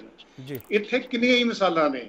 1984 ਵਿੱਚ ਜਦੋਂ ਚੋਣ ਲੜੀ ਹੈ ਇੰਦਰਾ ਗਾਂਧੀ ਦੇ ਅਸੈਸੀਨੇਸ਼ਨ ਤੋਂ ਬਾਅਦ ਸਾਰੇ ਹਿੰਦੁਸਤਾਨ ਵਿੱਚ ਅਨੰਦਪੁਰ ਸਾਹਿਬ ਰੈਜ਼ੋਲੂਸ਼ਨ ਨੂੰ ਵੱਖਵਾਦੀ ਕਿਹਾ ਗਿਆ ਤੇ ਉਹੀ ਰੈਜ਼ੋਲੂਸ਼ਨ 1985 ਵਿੱਚ ਜਿਹੜਾ ਰਜੀਵ ਲੋਂਗੋਵਾਲ ਅਕੋਰਡ ਹੁੰਦਾ ਉਹਦਾ ਹਿੱਸਾ ਬਣਾ ਲਿਆ ਜਾਂਦਾ। ਜਿਹੜੀ 2019 ਦੀ ਬੀਜੇਪੀ ਦੀ ਇਲੈਕਸ਼ਨ ਸੀਗੀ ਇਹਦੇ ਚ ਤੁਸੀਂ ਦੇਖ ਲਓ ਜਿਹੜੇ 2014 ਵਿੱਚ ਇਲੈਕਸ਼ਨ ਮੈਨੀਫੈਸਟੋ ਸੀਗਾ ਉਹਦਾ ਉਹਦਾ ਕੋਈ 2019 ਚ ਜ਼ਿਕਰ ਹੀ ਨਹੀਂ ਹੈਗਾ। ਸੋ ਮੈਂ ਤੁਹਾਨੂੰ ਕਹਿਣਾ ਚਾਹੁੰਦਾ ਕਿ ਜਿਹੜੀ ਜਿਹੜੀ ਜਿਹੜੀ ਆਮ ਵਿਅਕਤੀ ਦੇ ਪੱਖੋਂ ਤੁਸੀਂ ਰਾਜਨੀਤੀ ਦੀ ਗੱਲ ਕਰਦੇ ਹੋ, ਉਹਦੇ ਲਈ ਬਹੁਤ ਇੰਪ- ਇੰਪੋਰਟੈਂਟ ਹੁੰਦਾ ਕਿ ਜਿਹੜੇ ਮੁੱਦੇ ਲੈ ਕੇ, ਆਰਥਿਕ ਮੁੱਦੇ ਲੈ ਕੇ ਤੁਸੀਂ ਲੋਕਾਂ ਕੋਲ ਗਏ, ਜਿੱਤ ਪ੍ਰਾਪਤ ਕੀਤੀ, ਉਹ ਕਿੰਨੇ ਪੂਰੇ ਕੀਤੇ ਨੇ? ਪਰ ਪਾਰਟੀਆਂ ਦੀ ਕੋਸ਼ਿਸ਼ ਹੁੰਦੀ ਹੈ, ਕਿਉਂਕਿ ਪਰਫਾਰਮ ਕੀਤਾ ਨਹੀਂ, ਇਸ ਕਰਕੇ ਤੁਸੀਂ ਇਮੋਟਿਵ ਇਸ਼ੂ ਲੱਭ ਲਵੋ। ਇਹ, ਪਰ ਫਿਰ ਮੈਂ ਦੂਜੀ ਵੀ ਗੱਲ ਕਵਾਂਗਾ ਕਿ ਇਹ ਇਮੋਟਿਵ ਇਸ਼ੂ ਐਸਾ ਹੈ, ਜਿਹੜਾ ਵਾਕਈ ਪੰਜਾਬ ਵਿੱਚ ਕਾਟ ਕਰਦਾ ਹੈ। ਇਸ ਨੂੰ ਇਸ ਨੂੰ ਨਾ ਤਾਂ ਸੀ ਨਾ ਅਕਾਲੀ ਦਲ ਇਸ ਤੋਂ ਭੱਜ ਸਕਦਾ ਕਿਉਂਕਿ ਅਕਾਲੀ ਦਲ ਦੇ ਟਰਿਓਰ ਵਿੱਚ ਬੇਅਦਬੀ ਹੋਈ ਅਕਾਲੀ ਦਲ ਦੇ ਟਰਿਓਰ ਵਿੱਚ ਗੋਲੀ ਚੱਲੀ ਨਾ ਅਕਾਲੀ ਦਲ ਉਸ ਤੋਂ ਭੱਜ ਸਕਦਾ। ਕਾਂਗਰਸ ਇਸ ਕਰਕੇ ਨਹੀਂ ਭੱਜ ਸਕਦੀ ਕਿ ਤੁਸੀਂ ਬਹੁਤ ਵੱਡੇ ਲੈਵਲ ਤੇ ਐਲਾਨ ਕਰਕੇ ਆਏ ਕਿ ਅਸੀਂ ਆਉਂਦਿਆਂ ਹੀ ਆਪਣਾ ਇਨਵੈਸਟੀਗੇਸ਼ਨ ਕਰਕੇ ਬੰਦਿਆਂ ਨੂੰ ਆਇਡੈਂਟੀਫਾਈ ਕਰਕੇ ਸਜ਼ਾ ਦਿਵਾਵਾਂਗੇ। ਸੋ ਇਸ ਕਰਕੇ ਇਹ ਦੋਨੋਂ ਚੀਜ਼ਾਂ ਪੈਰਲਲ ਚੱਲਦੀਆਂ ਨੇ। ਕਿਹੜੀਆਂ? ਇੱਕ ਹੈਗੀ ਆਮ ਲੋਕਾਂ ਦੇ ਮੁੱਦਿਆਂ ਦੀ ਗੱਲ। ਉਹ ਉਹ ਮੁੱਦਾ ਡਿਫਰੈਂਟ ਹੈ। ਇੱਕ ਹੈਗੀ ਇਮੋਟਿਵ ਇਸ਼ੂਜ਼ ਦੀ ਗੱਲ। ਮੈਂ ਤੁਹਾਨੂੰ ਇਹ ਕਹਿਣਾ ਚਾਹੁੰਦਾ, ਚਾਹੇ ਪੰਜਾਬ ਦਾ ਸੂਬਾ ਹੋਵੇ, ਚਾਹੇ ਮੁਲਕ ਦੀ ਰਾਜਨੀਤੀ ਹੋਵੇ ਇਮੋਟਿਵ ਇਸ਼ੂ ਲੋਕਾਂ ਦੇ ਮੁੱਦਿਆਂ ਨੂੰ ਖਾ ਜਾਂਦੇ ਨੇ। ਇਹ ਪਹਿਲੀ ਵਾਰ ਨਹੀਂ ਹੋਇਆ, ਬੜੀ ਵਾਰ ਹੋਇਆ। ਚਲੋ ਕੋਲਮ ਲਾ ਕੇ ਸੈਂਟੀਮੈਂਟਸ ਤੇ ਜਿਹੜਾ ਉਹ ਸਾਰੀ ਸਿਆਸਤ ਚੱਲਦੀ ਪਈ ਹੈ ਇੱਕ ਛੋਟਾ ਹੋਰ ਬ੍ਰੇਕ ਲਵਾਂਗੇ ਬ੍ਰੇਕ ਤੋਂ ਵਾਪਸ ਆਵਾਂ ਕਿ ਕਿਵੇਂ ਮੁੱਕਿਆ ਕਾਂਗਰਸ ਦਾ ਕ੍ਰੈਕਲੇਸ਼ ਪਰ ਇਹਨਾਂ ਤਸਵੀਰਾਂ ਦੇ ਵਿੱਚ ਇੱਕ ਤਸਵੀਰ ਨਹੀਂ ਹੈਗੀ। ਉਹ ਤਸਵੀਰ ਕਹਿੰਦੀ ਨਹੀਂ ਹੈਗੀ ਬ੍ਰੇਕ ਤੋਂ ਬਾਅਦ ਆ ਕੇ ਇਹ ਸਵਾਲ ਕਰੂੰਗਾ ਜ਼ਰੂਰ। ਸੀ ਕਾਂਗਰਸ ਦੇ ਅੰਦਰੂਨੀ ਕਲੇਸ਼ ਨਾਲ ਪੰਜਾਬ ਨੂੰ ਕੀ ਹਾਸਲ ਹੋਵੇਗਾ? ਅਸੀਂ ਕੋਸ਼ਿਸ਼ ਕਰ ਰਹੇ ਹਾਂ ਸੰਜੀਦਗੀ ਨਾਲ ਤੁਹਾਡੀ ਚਰਚਾ ਨੂੰ ਸਮਝਿਆ ਜਾਵੇ ਤੁਹਾਡੇ ਮੁੱਦਿਆਂ ਨੂੰ ਸਮਝਿਆ ਜਾਵੇ ਤੁਹਾਡੀ ਗੱਲ ਸੁਣੀ ਜਾਵੇ ਪੰਜਾਬ ਦੀ ਗੱਲ ਹੋਣੀ ਚਾਹੀਦੀ ਹੈ। ਵੈਸੇ ਕੁਲਦੀਪ ਸਿੰਘ ਸਰ ਇਹਦੇ ਵਿੱਚ ਮਨਪ੍ਰੀਤ ਸਿੰਘ ਬਾਦਲ ਦੀ ਤਸਵੀਰ ਨਹੀਂ ਹੈਗੀ ਸਰ। ਮਨਪ੍ਰੀਤ ਸਿੰਘ ਬਾਦਲ ਕੋਲੇ ਖਜ਼ਾਨੇ ਦੀ ਚਾਬੀ ਹੈ। ਮਨਪ੍ਰੀਤ ਸਿੰਘ ਬਾਦਲ ਕੋਲੇ ਪੰਜਾਬ ਦੀ ਸਮੱਸਿਆ ਦਾ ਹੱਲ ਹੈ। ਮਨਪ੍ਰੀਤ ਸਿੰਘ ਬਾਦਲ ਇਹ ਕਹਿੰਦੇ ਸਰ ਮੈਂ ਨਹੀਂ ਕਹਿ ਰਿਹਾ। ਵੈਸੇ ਕੁਲਦੀਪ ਸਿੰਘ ਮਨਪ੍ਰੀਤ ਸਿੰਘ ਬਾਦਲ ਮਨਪ੍ਰੀਤ ਸਿੰਘ ਬਾਦਲ ਇਸ ਤੋਂ ਪਹਿਲਾਂ 2017 ਦੀਆਂ ਚੋਣਾਂ ਵਿੱਚ ਕੈਪਟਨ ਅਮਰਿੰਦਰ ਸਿੰਘ ਦੇ ਬਰਾਬਰ ਖੜਾ ਹੋਇਆ ਚਿਹਰਾ ਦਿਖਾਇਆ ਜਾ ਰਿਹਾ ਸੀ ਪੰਜਾਬ ਨੂੰ ਪ੍ਰੋਫੈਸਰ ਕੁਲਦੀਪ ਸਿੰਘ। ਦੇਖੋ ਜਿਹੜੀ ਗੱਲ ਮੇਰੇ ਖਿਆਲ ਮਾਲੀ ਸਾਹਿਬ ਨੇ ਕਹੀ ਸੀ ਉਦੋਂ ਤਾਂ ਪਿਛਲੀ ਇਲੈਕਸ਼ਨ ਤਾਂ ਕੈਪਟਨ ਸਾਹਿਬ ਨੇ ਆਪ ਹੀ ਕਹਿਤਾ ਸੀ ਮੈਂ ਅਗਲੀ ਚੋਣ ਨਹੀਂ ਲੜਨੀ। ਤੇ ਉਹ ਜਦੋਂ ਸਿੱਧੂ ਸਾਹਿਬ ਨੇ ਕਾਂਗਰਸ ਜੁਆਇਨ ਕੀਤੀ ਹੈ ਐਨ ਲੱਗਦਾ ਕਿ ਉਹਦੇ ਨਾਲ ਪ੍ਰੋਮਿਸ ਕੀਤਾ ਸੀ ਕਿ ਲੋ ਜੀ ਕੈਪਟਨ ਸਾਹਿਬ ਤਾਂ ਅਗਲੀ ਇਲੈਕਸ਼ਨ ਜਾ ਰਹੇ ਨੇ ਅਸੀਂ ਕੋਈ ਨਵਾਂ ਚਿਹਰਾ ਜਿਹੜਾ ਪ੍ਰੋਜੈਕਟ ਕਰਾਂਗੇ। ਹਾਂਜੀ ਸੋ ਉਹ ਜਿਹੜਾ ਉਹ ਜਿਹੜਾ ਕੰਟੈਕਟ ਸੀ ਪਰ ਪਰ ਇੱਕ ਗੱਲ ਧਿਆਨ ਨਾਲ ਨੋਟ ਕਰ ਲਓ, ਉਹ ਇਹ ਹੈ ਕਿ ਜਦੋਂ ਅਸੀਂ ਪੰਜਾਬ ਕਾਂਗਰਸ ਦੀ ਗੱਲ ਕਰਦੇ ਆਂ ਹਾਈ ਕਮਾਂਡ ਦੀ ਗੱਲ ਕਰਦੇ ਆਂ ਦੋ ਤਿੰਨ ਗੱਲਾਂ ਮੈਂ ਕਹਿਣੀਆਂ ਨੇ। ਰਾਜਸਥਾਨ ਵਿੱਚ ਸਚਿਨ ਪਾਇਲਟ ਨੂੰ ਕਾਂਗਰਸ ਹਾਈ ਕਮਾਂਡ ਰੀਹੈਬਿਲਿਟੇਟ ਨਹੀਂ ਕਰਵਾ ਸਕੀ। ਅਸ਼ੋਕ ਗਹਿਲੋਤ ਨੇ ਉਹਨੂੰ ਦੁਬਾਰਾ ਮਿਨਿਸਟਰ ਨਹੀਂ ਬਣਾਇਆ। ਪੰਜਾਬ ਵਿੱਚ 24 ਕੇ 27 ਮਹੀਨੇ ਸਿੱਧੂ ਸਾਹਿਬ ਮੰਤਰੀ ਰਹੇ, ਉਸ ਤੋਂ ਬਾਅਦ ਛੱਡ ਗਏ। 2 ਮਹੀਨੇ ਪਹਿਲਾਂ ਤੱਕ ਇਹ ਕੋਸ਼ਿਸ਼ਾਂ ਹੁੰਦੀਆਂ ਰਹੀਆਂ ਕਿ ਸਿੱਧੂ ਨੂੰ ਕਮੋਡੇਟ ਕਰ ਲਿਆ ਜਾਵੇ ਉਹਨੂੰ ਪ੍ਰਧਾਨਗੀ ਦੇ ਦਵਾ ਦਿੱਤੀ ਜਾਵੇ। ਕੈਪਟਨ ਨੇ ਕਿਹਾ ਕਿ ਮੈਂ ਪ੍ਰਧਾਨਗੀ ਨਹੀਂ ਦੇਣੀ ਬਹੁਤ ਸੀਨੀਅਰ ਲੋਕ ਇੱਥੇ ਬੈਠੇ ਨੇ। ਹਾਂਜੀ ਸੋ ਇਸ ਕਰਕੇ ਇਸ ਕਰਕੇ ਜਿਹੜਾ ਜਿਹੜਾ ਇਹ ਕਲੈਸ਼ ਹੈ ਨਾ ਸਿੱਧੂ ਵਾਲਾ ਇਹਦੀ ਇੱਕ ਆਪਣੀ ਵਿਲੱਖਣਤਾ ਹੈ। ਦੂਜੀ ਗੱਲ ਜਿਹੜੇ ਲੋਕ ਹੁਣ ਸਿੱਧੂ ਦੇ ਨਾਲ ਆਏ ਨੇ ਉਹ ਕੋਈ ਸਿੱਧੂ ਨੂੰ ਚੀਫ ਮਿਨਿਸਟਰਸ਼ਿਪ ਲਈ ਸਪੋਰਟ ਨਹੀਂ ਜੇ ਕਰਨਗੇ। ਮਤਲਬ ਹਰ ਇੱਕ ਬੰਦੇ ਦਾ ਇੱਕ ਆਪਣਾ ਆਪਣਾ ਦਾਅ ਪੇਚ ਹੈ। ਜਦੋਂ ਨੌਬਤ ਆਈ ਨਾ ਕਾਂਗਰਸ ਪਾਰਟੀ ਨੂੰ ਛੱਡਣ ਦੀ, ਮੈਂ ਤੁਹਾਨੂੰ ਦਾਅ ਨਾਲ ਕਹਿ ਸਕਦਾ, ਜੇ ਸਿੱਧੂ ਕਾਂਗਰਸ ਛੱਡਦਾ ਕੋਈ ਬਹੁਤ ਵੱਡੀ ਗਿਣਤੀ ਵਿੱਚ ਲੋਕ ਉਹਦੇ ਨਾਲ ਨਹੀਂ ਜਾਣਗੇ। ਰੀਜ਼ਨ ਵੀ ਸੀ ਕਾਰਨ ਕੀ ਹੈ?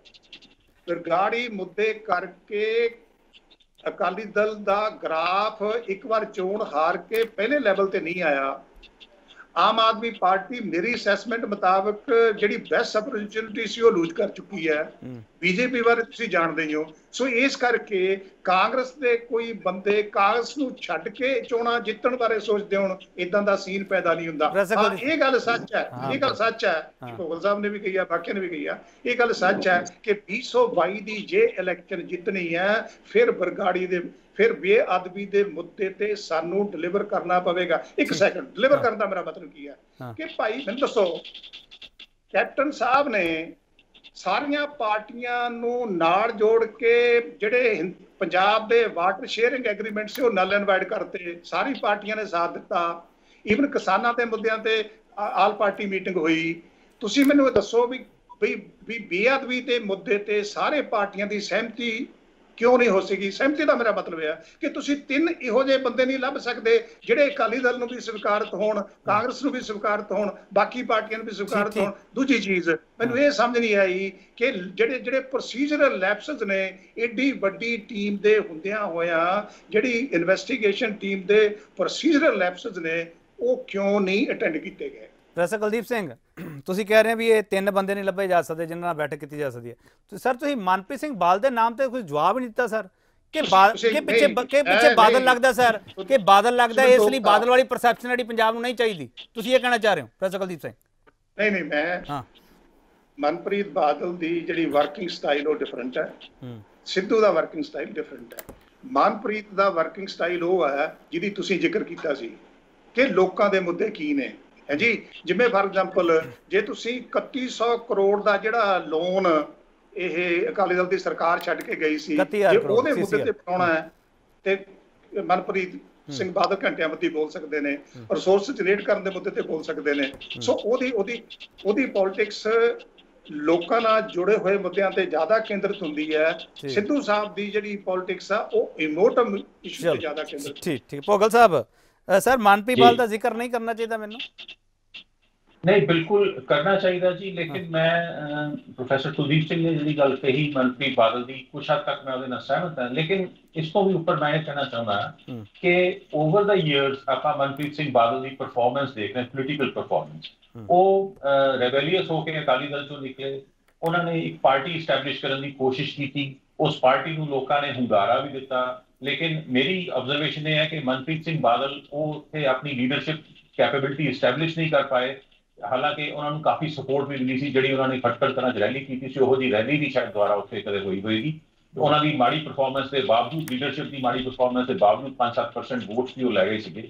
ਉਸ ਤੋਂ ਬਾਅਦ ਉਹ ਕਾਂਗਰਸ ਸ਼ਾਮਲ ਹੋਈ। ਕਾਂਗਰਸ ਦੇ ਵਿੱਚ ਸ਼ਾਮਲ ਹੋਣ ਤੋਂ ਬਾਅਦ ਵੀ ਜਿਹੜਾ ਹੈ, ਉਹਨਾਂ ਨੇ ਕਦੇ ਕੋਈ ਉਸ ਤਰ੍ਹਾਂ ਦੀ ਆਪਣੀ ਇਮੇਜ ਬਣਾਉਣ ਦੀ ਕੋਸ਼ਿਸ਼ ਨਹੀਂ ਕੀਤੀ ਕਿ he could be another alternative for Punjab's leadership so as a leader ਉਹਨਾਂ ਦੀ ਜਿਹੜੀ ਕ੍ਰੈਡੀਬਿਲਟੀ ਹੈਗੀ ਹੈ, ਉਹਨਾਂ ਦੀ ਲੀਡਰਸ਼ਿਪ ਪਰਫਾਰਮੈਂਸ ਦੀ ਉਹਦੇ ਬਾਰੇ ਲੋਕਾਂ ਦੇ ਵਿੱਚ ਉਹਨਾਂ ਵਿਸ਼ਵਾਸ ਨਹੀਂ ਹੈਗਾ ਤੇ ਮੇਰਾ ਨਹੀਂ ਖਿਆਲ ਕਿ ਮਨਪ੍ਰੀਤ ਬਾਦਲ ਕਿਸੇ ਵੀ ਤਰ੍ਹਾਂ ਇੱਕ ਆਲਟਰਨੇਟਿਵ ਲੀਡਰਸ਼ਿਪ ਦੇ ਲਈ ਕੰਸੀਡਰੇਸ਼ਨ ਹੈ ਜਿੱਥੋਂ ਤੱਕ ਪੰਜਾਬ ਤੋਂ ਉਹ ਚਾਹੁੰਦੇ ਹੋਣਗੇ ਨੋ ਡਾਊਟ ਕਿ ਮੈਂ ਲੋ ਪ੍ਰੋਫਾਈਲ ਰੱਖਾਂ ਮੈਂ ਕੈਪਟਨ ਸਾਹਿਬ ਨਾਲ ਕਨਫਲਿਕਟ ਨਹੀਂ ਆਵਾਂ ਤੇ ਸ਼ਾਇਦ ਮੈਨੂੰ ਸੈਂਟਰਲ ਲੀਡਰਸ਼ਿਪ ਔਰ ਕੈਪਟਨ ਸਾਹਿਬ ਹੈ ਜਿਹੜੇ ਉਹ ਕੋਆਪ ਕਰ ਲੈਣ ਕਿ ਸਿੱਧੂ ਦੀ ਬਜਾਏ ਮੇਰਾ ਨਾਂ ਆ ਜਾਏ ਲੇਕਿਨ ਮੈਨੂੰ ਨਹੀਂ ਲੱਗਦਾ ਕਿ ਜਿਹੜੇ ਲੋਕਾਂ ਦੇ ਵਿੱਚ ਉਸ ਤਰ੍ਹਾਂ ਦੀ ਉਹਨਾਂ ਦੀ ਜਿਹੜੀ ਹੈ ਇਮੇਜ ਐਜ਼ ਲੀਡਰ ਜਿਹੜੀ ਹੈ ਉਹ ਕਦੇ ਬਣ ਪਾਈ ਹੈਗੀ ਹੈ। ਸੋ ਮਨਪ੍ਰੀਤ ਬਾਦਲ ਦਾ ਮਸਲਾ ਹੈ ਇਸ ਤਰ੍ਹਾਂ ਦਾ ਜਿਹੜਾ ਹੈ, ਤਾਂ ਉਹਨਾਂ ਨੂੰ ਇਸ ਤਰ੍ਹਾਂ ਦੀ ਪ੍ਰੋਬਲਮ ਜਿਹੜੀ ਹੈ ਫੇਸ ਕਰਨੀ ਪਏਗੀ। ਠੀਕ ਠੀਕ। ਮਾਲੀ ਸਾਹਿਬ ਜਿਹੜੇ ਪੰਜ ਪੰਜ ਚਿਹਰੇ ਆ, ਜਿਹੜੇ ਪੰਜ ਕਾਂਗਰਸ ਦੇ ਕੈਪਟਨ ਦੇ ਲਈ ਮੁਸ਼ਕਲ ਖੜੀ ਕਰੀ ਬੈਠੇ ਆ। ਸਰ, ਇਹਨਾਂ ਵਿੱਚੋਂ ਨਵਜੋਤ ਸਿੰਘ ਸਿੱਧੂ ਤੇ ਹੀ ਸ਼ੱਕ ਹੈ ਕਿ ਇਹ ਕਦੇ ਵੀ ਕਾਂਗਰਸ ਛੱਡ ਵੀ ਸਕਦੇ ਆ, ਜਿਵੇਂ ਪ੍ਰੋਫੈਸਰ ਕੁਲਦੀਪ ਸਿੰਘ ਨੇ ਕਿਹਾ। ਸਰ, ਉਸ ਦੇ ਨਾਲ ਪ੍ਰੋਫੈਸਰ ਕੁਲਦੀਪ ਸਿੰਘ ਇਹ ਗੱਲ ਕਹਿ ਰਿਹਾ ਹੈ ਕਿ ਸਿੱਧੂ ਨੂੰ ਕਾਂਗਰਸ ਛੱਡਣ ਤੋਂ ਬਾਅਦ ਕੋਈ ਬੰਦੇ ਨਹੀਂ ਲੱਭਣੇਗੇ, ਨਾ ਉਹਨਾਂ ਦੇ ਮਗਰ ਜਾਣਾ ਕਿਸੇ ਨੇ। ਮਾਲੀ ਸਾਹਿਬ, ਤੁਸੀਂ ਇਸ ਨਾਲ ਇਤਫਾਕ ਨਹੀਂ ਰੱਖੋਗੇ, ਮੈਨੂੰ ਲੱਗਦਾ। ਨਹੀਂ ਪਹਿਲੀ ਗੱਲ ਤੇ ਹੈ ਵੀ ਛੱਡਣ ਜਾਂ ਨਾ ਛੱਡਣ ਦਾ ਸਵਾਲ ਆ ਇਹ ਤਾਂ ਹੈ ਹੀ ਬਾਅਦ ਦੇ ਵਿੱਚ। ਹਾਂ। ਪਹਿਲੀ ਗੱਲ ਇਹ ਹੈ ਵੀ ਮਨਪ੍ਰੀਤ ਉਹਨੇ ਕਦੇ ਵੀ ਮੁੱਦਿਆਂ ਦੀ ਸਿਆਸਤ ਨਹੀਂ ਕੀਤੀ। ਹੂੰ। ਨਾ ਉਹਨੇ ਕਿਸੇ ਮੁੱਦਿਆਂ ਦਾ ਬਦਲ ਸਾਹਮਣੇ ਉਭਾਰਿਆ ਜਦੋਂ ਵੀ ਉਹ ਲੋਕਾਂ ਦਾ ਜਜ਼ਬਾਤੀ ਸ਼ੋਸ਼ਣ ਕਰਦਾ ਉਹ ਕਹਿੰਦਾ ਸੈਕਰੀਫਾਈਸ ਕਰੋ। ਤੁਸੀਂ ਭੁੱਖੇ ਰਹਿ ਸਕਦੇ ਹੋ ਤੁਸੀਂ ਆਹ ਕਰ ਸਕਦੇ ਹੋ ਆਹ ਕਰ ਸਕਦੇ ਹੋ। ਕਦੇ ਉਹਨੇ ਖਜ਼ਾਨੇ ਨੂੰ ਭਰਨ ਦੀ ਟੈਕਸ ਚੋਰੀ ਰੋਕਣ ਦੀ ਕਦੇ ਵੀ ਉਹਨੇ ਕੋਈ ਗੱਲ ਨਹੀਂ ਕੀਤੀ। ਉਹ ਮੋਟਿਵ ਕਹਿੰਦਾ ਸੈਕਰੀਫਾਈਸ ਕਰਨ ਲਈ। ਲੋਕਾਂ ਨੂੰ ਕਹਿੰਦਾ ਕੁਰਬਾਨੀ ਕਰਨ ਲਈ ਜਿਹੜੇ ਲੋਕ ਪਹਿਲੀ ਮਤਲਬ ਨਪੀੜੇ ਹੋਏ ਨੇ। ਦੂਜੇ ਪਾਸੇ ਨਵਜੋਤ ਸਿੰਘ ਸਿੱਧੂ ਆ ਉਹਨੇ ਮੁੱਦਿਆਂ ਦੀ ਸਿਆਸਤ ਕੀਤੀ ਆ ਉਲਟ ਗੱਲ ਲਿਜਾ ਕੇ। ਤੁਸੀਂ ਇਹ ਦੇਖੋ ਜਿਹੜਾ ਮੁੱਦਾ ਸੀ ਕਰਤਾਰਪੁਰ ਸਾਹਿਬ ਦਾ ਲੰਘਾ। ਸਾਰੀ ਦੁਨੀਆ ਉਹਦੇ ਵਿਰੋਧ ਦੇ ਵਿੱਚ ਖੜੀ ਸੀ। ਤੇ ਉਹ ਹਿੱਕੜਾ ਕੇ ਕੱਲਾ ਲੜਿਆ। ਤੇ ਲੜਿਆ ਇਹ ਵੀ ਪਾਕਿਸਤਾਨ ਨਾਲ ਅਮਨ ਸ਼ਾਂਤੀ ਚਾਹੀਦੀ ਆ ਬਾਰਡਰ ਖੁੱਲਾ ਹੋਣਾ ਚਾਹੀਦਾ। ਇਹ ਉਦੋਂ ਜਦੋਂ ਸਾਰਾ ਮੋਸ਼ਨ ਉਹਦੇ ਖਿਲਾਫ ਸੀ, ਸਾਰੀ ਮੇਨ ਸਟ੍ਰੀਮ ਉਹਦੇ ਉਲਟ ਸੀ, ਉਹ ਹਿੱਕੜਾ ਕੇ ਖੜਿਆ। ਦੂਜੀ ਗੱਲ, ਜਿਹੜੀ ਚੀਜ਼ ਤੇ ਉਹਨੇ ਸਟੈਂਡ ਲਿਆ, ਉਹਨੇ ਮੁੱਦੇ ਤੇ ਸਟੈਂਡ ਲਿਆ ਤੇ ਉਹਤੇ ਕਾਰਗੁਜ਼ਾਰੀ ਦਿਖਾਈ ਹੈ। ਤੀਜੀ ਗੱਲ, ਜਿਹੜੀ ਆਪਾਂ ਕਹਿੰਦੇ ਉਹ ਐ ਨਹੀਂ ਕਰ ਸਕਦਾ। ਪਹਿਲੀ ਗੱਲ ਆ, ਉਹ ਕਿਸੇ ਪਾਰਟੀ 'ਚ ਕਿਉਂ ਜਾਊ ਜੀ?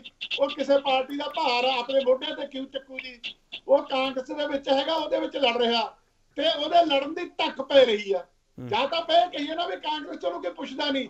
ਇਹ ਵੱਖਰੀ ਗੱਲ ਆ ਵੀ ਉਹਦਾ ਸਟਾਈਲ ਵੱਖਰਾ, ਉਹ ਧੜਾ ਨਹੀਂ ਬਣਾਉਂਦਾ ਉਸ ਚੱਕਰ 'ਚ ਨਹੀਂ ਪੈਂਦਾ।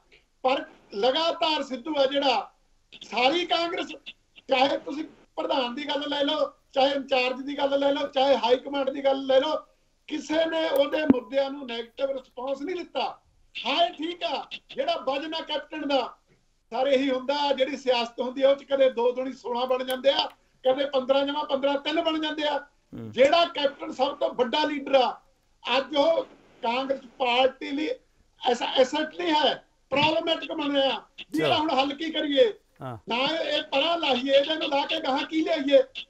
ਉਹਦੀ ਆਪਣੀ ਕਾਰਗੁਜ਼ਾਰੀ ਆਪਣਾ ਸਾਰਾ ਕੁਝ ਸੀ ਜਿਹੜਾ ਉਹਦਾ ਸਮੱਸਿਆ ਬਣ ਗਿਆ ਕਾਂਗਰਸ ਲਈ। ਚਲ ਠੀਕ ਠੀਕ ਹੈ। ਮੈਂ ਇੱਕ ਹੋਰ ਛੋਟਾ ਬ੍ਰੇਕ ਲੈ ਲਵਾਂ ਬ੍ਰੇਕ ਤੋਂ ਵਾਪਸ ਆਉਂਗਾ ਅੱਜ ਮੇਰੇ ਸਵਾਲ ਘੱਟ ਹੈ ਇਹਨਾਂ ਦੇ ਜਵਾਬ ਜ਼ਿਆਦਾ ਹੈ। ਇਹਨਾਂ ਨੂੰ ਲੰਬਾ ਬੋਲਣ ਦਾ ਮੌਕਾ ਦੇ ਰਹੇ ਹਾਂ ਕੋਸ਼ਿਸ਼ ਕਰ ਰਹੇ ਹਾਂ ਕਿ ਇਹ ਆਪਦੀ ਗੱਲ ਕਹਿ ਸਕਣ, ਤੁਹਾਡੀ ਗੱਲ ਰੱਖ ਸਕਣ। ਪਰ ਕਾਂਗਰਸ ਦਾ ਗ੍ਰਹਿ ਕਲੇਸ਼ ਹੈ ਜਿਹੜਾ, ਉਹ ਗ੍ਰਹਿ ਮੰਤਰਾਲਾ ਬਦਲਣ ਨਾਲ ਹੱਲ ਹੋਵੇਗਾ, ਮੁੱਖ ਮੰਤਰੀ ਬਦਲਣ ਨਾਲ ਹੱਲ ਹੋਵੇਗਾ, ਅਸਲ ਵਿੱਚ ਪੰਜਾਬ ਦਾ ਹੱਲ ਹੋਵੇਗਾ ਕਿਵੇਂ? ਇਹ ਤਾਂ ਕੱਲਾ ਕੁਰਸੀ ਦਾ ਹੱਲ ਹੈ, ਜਿਹੜਾ ਹੱਲ ਅਸੀਂ ਲੱਭ ਰਹੇ ਹਾਂ, ਜਿਹੜਾ ਹੱਲ ਤੁਸੀਂ ਸਾਰੇ ਦੇਖ ਰਹੇ ਹੋ। ਪਰ ਪੰਜਾਬ ਦੇ ਮਸਲੇ ਹੱਲ ਕਿਵੇਂ ਹੋਣਗੇ? ਸਾਡਾ ਸਵਾਲ ਪੰਜਾਬ ਦਾ। ਵਾਪਸ ਆ ਰਿਹਾ ਕਾਂਗਰਸ ਦੇ ਅੰਦਰੂਨੀ ਕਲੇਸ਼ ਨਾਲ ਪੰਜਾਬ ਨੂੰ ਕੀ ਹਾਸਲ ਹੋਵੇਗਾ? ਬੋਗਲ ਸਾਹਿਬ ਪੰਜਾਬ ਦੇ ਵਿੱਚ ਜਿਹੜਾ ਬੇਰੋਜ਼ਗਾਰੀ ਪੱਤਾ ਦੇਣਾ ਸੀ ਸਰ ਉਸ ਮਸਲੇ ਦਾ ਹੱਲ ਨਹੀਂ ਹੋਇਆ ਹੋਇਆਗਾ ਮੈਂ ਮੋٹے-ਮੋٹے ਮੁੱਦਿਆਂ ਦੀ ਗੱਲ ਕਰ ਰਿਹਾ ਸਰ। ਬਿਜਲੀ ਇੱਥੇ ਮਹਿੰਗੀ ਹੈ ਸਰ ਪੰਜਾਬ ਦੀ। ਮਾਫੀਆ ਰਾਜ ਇੱਥੇ ਹੈ ਸਰ। ਉਹਦੇ ਉਹ ਕਿਸੇ ਸਮੱਸਿਆ ਦਾ ਹੱਲ ਨਹੀਂ ਹੋਇਆ ਸਰ। ਅਸੀਂ ਸਿਰਫ ਹੱਲ ਕਰਨਾ ਚਾਹ ਰਹੇ ਹਾਂ ਕਿ ਪਹਿਲਾਂ ਖੇਤੀ ਕਾਨੂੰਨ ਦੇ ਮੁੱਦੇ ਤੇ ਅਸੀਂ ਪੂਰੀ ਸਿਆਸਤ ਕੀਤੀ। ਉਸ ਉਸ ਸਿਆਸਤ ਦਾ ਵਿਚਾਲੇ ਕੀ ਹਾਸਲ ਹੋਇਆ ਸਰ ਮੈਨੂੰ ਨਹੀਂ ਉਸ ਬਾਰੇ ਪਤਾ ਪਤਾਗਾ ਪਰ ਭੁਗਲ ਸਾਹਿਬ ਮੈਨੂੰ ਤਾਂ ਇਹ ਪਤਾ ਸਰ ਪੰਜਾਬ ਇਹ ਮੰਗ ਰਿਹਾ ਹੈ ਕਿ ਸਾਨੂੰ ਕੁਰਸੀਆਂ ਵਾਲੇ ਬੰਦੇ ਨਹੀਂ ਚਾਹੀਦੇ ਸਰ। ਸਾਨੂੰ ਇਹ ਚਾਹੀਦਾ ਪੰਜਾਬ ਦੀ ਸਮੱਸਿਆ ਦਾ ਹੱਲ ਕੌਣ ਕਰੂਗਾ? ਪੰਜਾਬ ਦਾ ਅਰਥਚਾਰਾ ਡਾਵਾਡੋਲ ਹੈ ਭੁਗਲ ਸਾਹਿਬ। ਕੇਪੀ ਸਾਹਿਬ, ਤੁਸੀਂ ਬਿਲਕੁਲ ਠੀਕ ਕਹਿ ਰਹੇ ਹੋ। ਜਿਹੜੀ ਗੱਲ ਅਸੀਂ ਤਿੰਨੋਂ ਜਾਣੇ ਸ਼ੁਰੂ ਤੋਂ ਕਹਿ ਰਹੇ ਹਾਂ ਕਿ ਜਿਹੜੇ ਇਮੋਸ਼ਨਲ ਇਸ਼ੂਜ਼ ਹੈਗੇ, ਜਿਸ ਤਰ੍ਹਾਂ ਪ੍ਰੋਫੈਸਰ ਕੁਲਦੀਪ ਸਿੰਘ ਨੇ ਕਿਹਾ, ਉਹਨਾਂ ਦੀ ਕਾਫੀ ਇੰਪੋਰਟੈਂਸ ਇੱਥੇ ਜਿਹੜੀ ਹੋ ਜਾਂਦੀ ਹੈ। ਉਹ ਇਹ ਚੀਜ਼ ਸ਼ੋਅ ਕਰਦੀ ਹੈ, ਜਿੱਦਾਂ ਮੈਂ ਇੱਕ ਬੜੀ ਪੋਲੀਟੀਕਲ ਸਾਇੰਸ ਦੀ ਕਾਮਨ ਟਰਮ ਹੈ ਕਿ ਸਿਵਲ ਸੁਸਾਇਟੀ ਦਾ ਜਿਹੜਾ ਕਲਚਰ ਹੈ ਸਿਵਲ ਕਲਚਰ ਉਹ ਸਾਡਾ ਕਾਫੀ ਕਮਜ਼ੋਰ ਹੈਗਾ। ਜਦੋਂ ਕੋਈ ਸਮਾਜ ਜਿਹੜਾ ਹੈਗਾ, ਆਪਣੇ ਅਸਲੀ ਸਰਵਾਈਵਲ ਦੇ ਮੁੱਦਿਆਂ ਤੋਂ ਭਟਕ ਕੇ ਇਮੋਸ਼ਨਲ ਇਸ਼ੂਜ਼ ਦੇ ਵਿੱਚ ਬਾਰ-ਬਾਰ ਜਾਵੇ, ਤਾਂ ਉਹ ਇਹ, ਇਸ ਚੀਜ਼ ਦੀ ਅਕਾਸੀ ਕਰਦੀ ਹੈ ਕਿ ਉੱਥੇ ਜਿਹੜੀ ਪੋਲੀਟਿਕ ਜਿਹੜੀ ਸਿਟੀਜ਼ਨਰੀ ਹੈ, ਉਹਦੀ ਜਿਹੜੀ ਮੈਚੁਰਿਟੀ ਦੇ ਉੱਤੇ ਸਵਾਲ ਖੜਾ ਕਰਦੀ ਹੈ। ਦੂਸਰੀ ਗੱਲ ਇਹ ਹੈਗੀ ਹੈ, ਜਿਹੜੀ ਮਾਲੀ ਸਾਹਿਬ ਨੇ ਸਿੱਧੂ ਸਾਹਿਬ ਬਾਰੇ ਕਹੀ ਜਾਂ ਤੁਸੀਂ ਸਵਾਲ ਪੁੱਛਿਆ, ਇੱਕ ਮੈਂ ਉਹਦਾ ਥੋੜਾ ਜਿਹਾ ਕਹਿਣਾ ਚਾਹੂੰਗਾ ਕਿ ਸਿੱਧੂ ਸਾਹਿਬ ਕਿਸੇ ਹੋਰ ਪਾਰਟੀ ਜਾਣਗੇ। ਮੇਰਾ ਆਪਣਾ ਆਬਜ਼ਰਵੇਸ਼ਨ ਜਿਹੜੀ ਹੈ ਔਰ ਜੋ ਮੇਰੇ ਕੋਲ ਇਨਪੁਟਸ ਹੈਗੀਆਂ ਸਿੱਧੂ ਸਾਹਿਬ ਦੇ ਜਿਹੜੇ ਕਲੋਜ਼ ਲੋਕ ਨੇ ਉਹਨਾਂ ਦੇ ਥਰੂ ਉਸ ਕਿਸੇ ਵੀ ਹਾਲਤ ਦੇ ਵਿੱਚ ਸਿੱਧੂ ਸਾਹਿਬ ਕਾਂਗਰਸ ਪਾਰਟੀ ਨਹੀਂ ਛੱਡਣਗੇ, ਕਿਉਂਕਿ ਸਿੱਧੂ ਸਾਹਿਬ ਜੋ ਕੁਝ ਇਸ ਵੇਲੇ ਪੰਜਾਬ ਦੇ ਵਿੱਚ ਕਰ ਰਹੇ ਹੈ, ਉਹਨੂੰ ਕਿਸੇ ਨਾ ਕਿਸੇ ਤਰੀਕੇ ਨਾਲ ਟੈਸਿਟਲੀ ਦਿੱਲੀ ਦੀ ਕੇਂਦਰੀ ਲੀਡਰਸ਼ਿਪ ਦਾ ਸਮਰਥਨ ਹਾਸਲ ਹੈਗਾ ਇਸ ਕਰਕੇ ਸਿੱਧੂ ਸਾਹਿਬ ਦੀ ਸਥਿ- ਸਥਿਤੀ ਹੋਪਲੈਸ ਨਹੀਂ ਹੈਗੀ। ਨਹੀਂ ਇੱਕ ਇੱਕ ਮਿੰਟ ਭੋਗਲ ਸਾਹਿਬ ਭੋਗਲ ਸਾਹਿਬ ਭੋਗਲ ਸਾਹਿਬ ਭੋਗਲ ਸਾਹਿਬ। ਤੁਹਾਡੇ ਪੁਆਇੰਟ 'ਚ ਵਜ਼ਨ ਹੈਗਾ ਸਰ। ਤੇ ਮੈਨੂੰ ਸਰ ਥੋੜਾ ਹੋਰ ਕਲੀਅਰ ਕਰ ਦਿਓ। ਜੇ ਸਿੱਧੂ ਸਾਹਿਬ। ਨੂੰ ਕਾਂਗਰਸ ਹਾਈ ਕਮਾਂਡ ਦਾ ਥਾਪੜਾ ਹੈਗਾ ਤਾਂ ਜਿਹੜੇ ਆ ਬੰਦੇ ਆ ਬਾਕੀ ਇਹਨਾਂ ਨੂੰ ਕਿਤੇ। ਹਾਈ ਕਮਾਂਡ ਨੇ ਕਹਿ ਤਾਂ ਨਹੀਂ ਦਿੱਤਾ ਭਾਈ ਸਿੱਧੂ ਸਾਹਿਬ ਦੇ ਮਗਰ ਤੁਰ ਪੋ ਚੁੱਪ ਕਰਕੇ।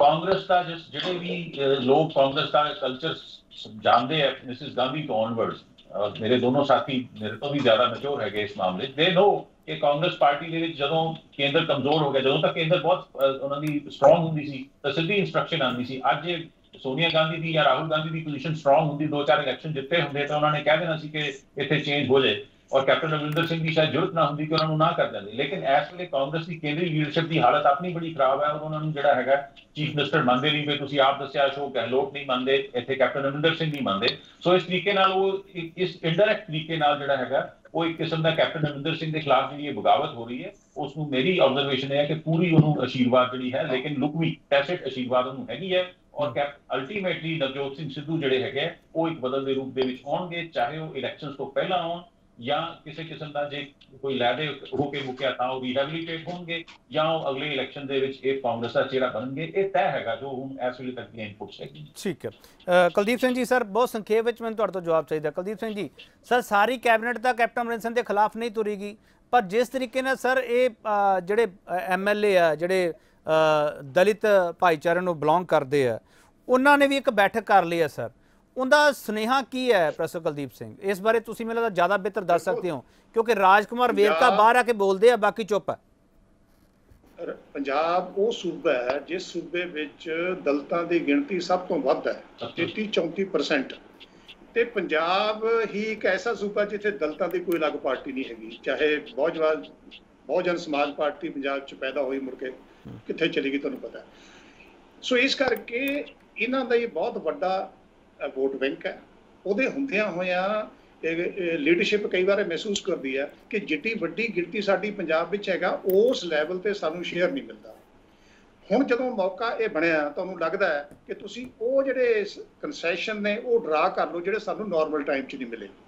ਹੈ ਜੀ? ਸੋ ਦੋ ਕਾਰਨਾਂ ਕਰਕੇ ਦਲਤਾਂ ਦਾ ਜਿਹੜਾ ਇਹ ਗਰੁੱਪ ਦਾ ਬਣਨਾ, ਮੀਟਿੰਗਾਂ ਕਰਨਾ, ਇੱਕ ਇਹ ਕਿ ਇਹ ਸਮੇਂ-ਸਮੇਂ ਸਿਰ ਮੈਂ ਫੀਡਬੈਕ ਮੇਰਾ ਹੈਗਾ। ਇਹ ਇਹ ਇਸ ਗੱਲ ਦਾ ਗਰੌਜ ਪਾਲ ਕੇ ਬੈਠੇ ਨੇ ਕਿ ਪੰਜਾਬ ਵਿੱਚ ਦਲਤਾਂ ਦੀ ਸਭ ਤੋਂ ਗਿਣ- ਵੱਧ ਗਿਣਤੀ ਹੁੰਦਿਆਂ ਹੋਇਆਂ ਉਸ ਲੈਵਲ ਦਾ ਸਾਨੂੰ ਸ਼ੇਅਰ ਨਹੀਂ ਮਿਲਦਾ।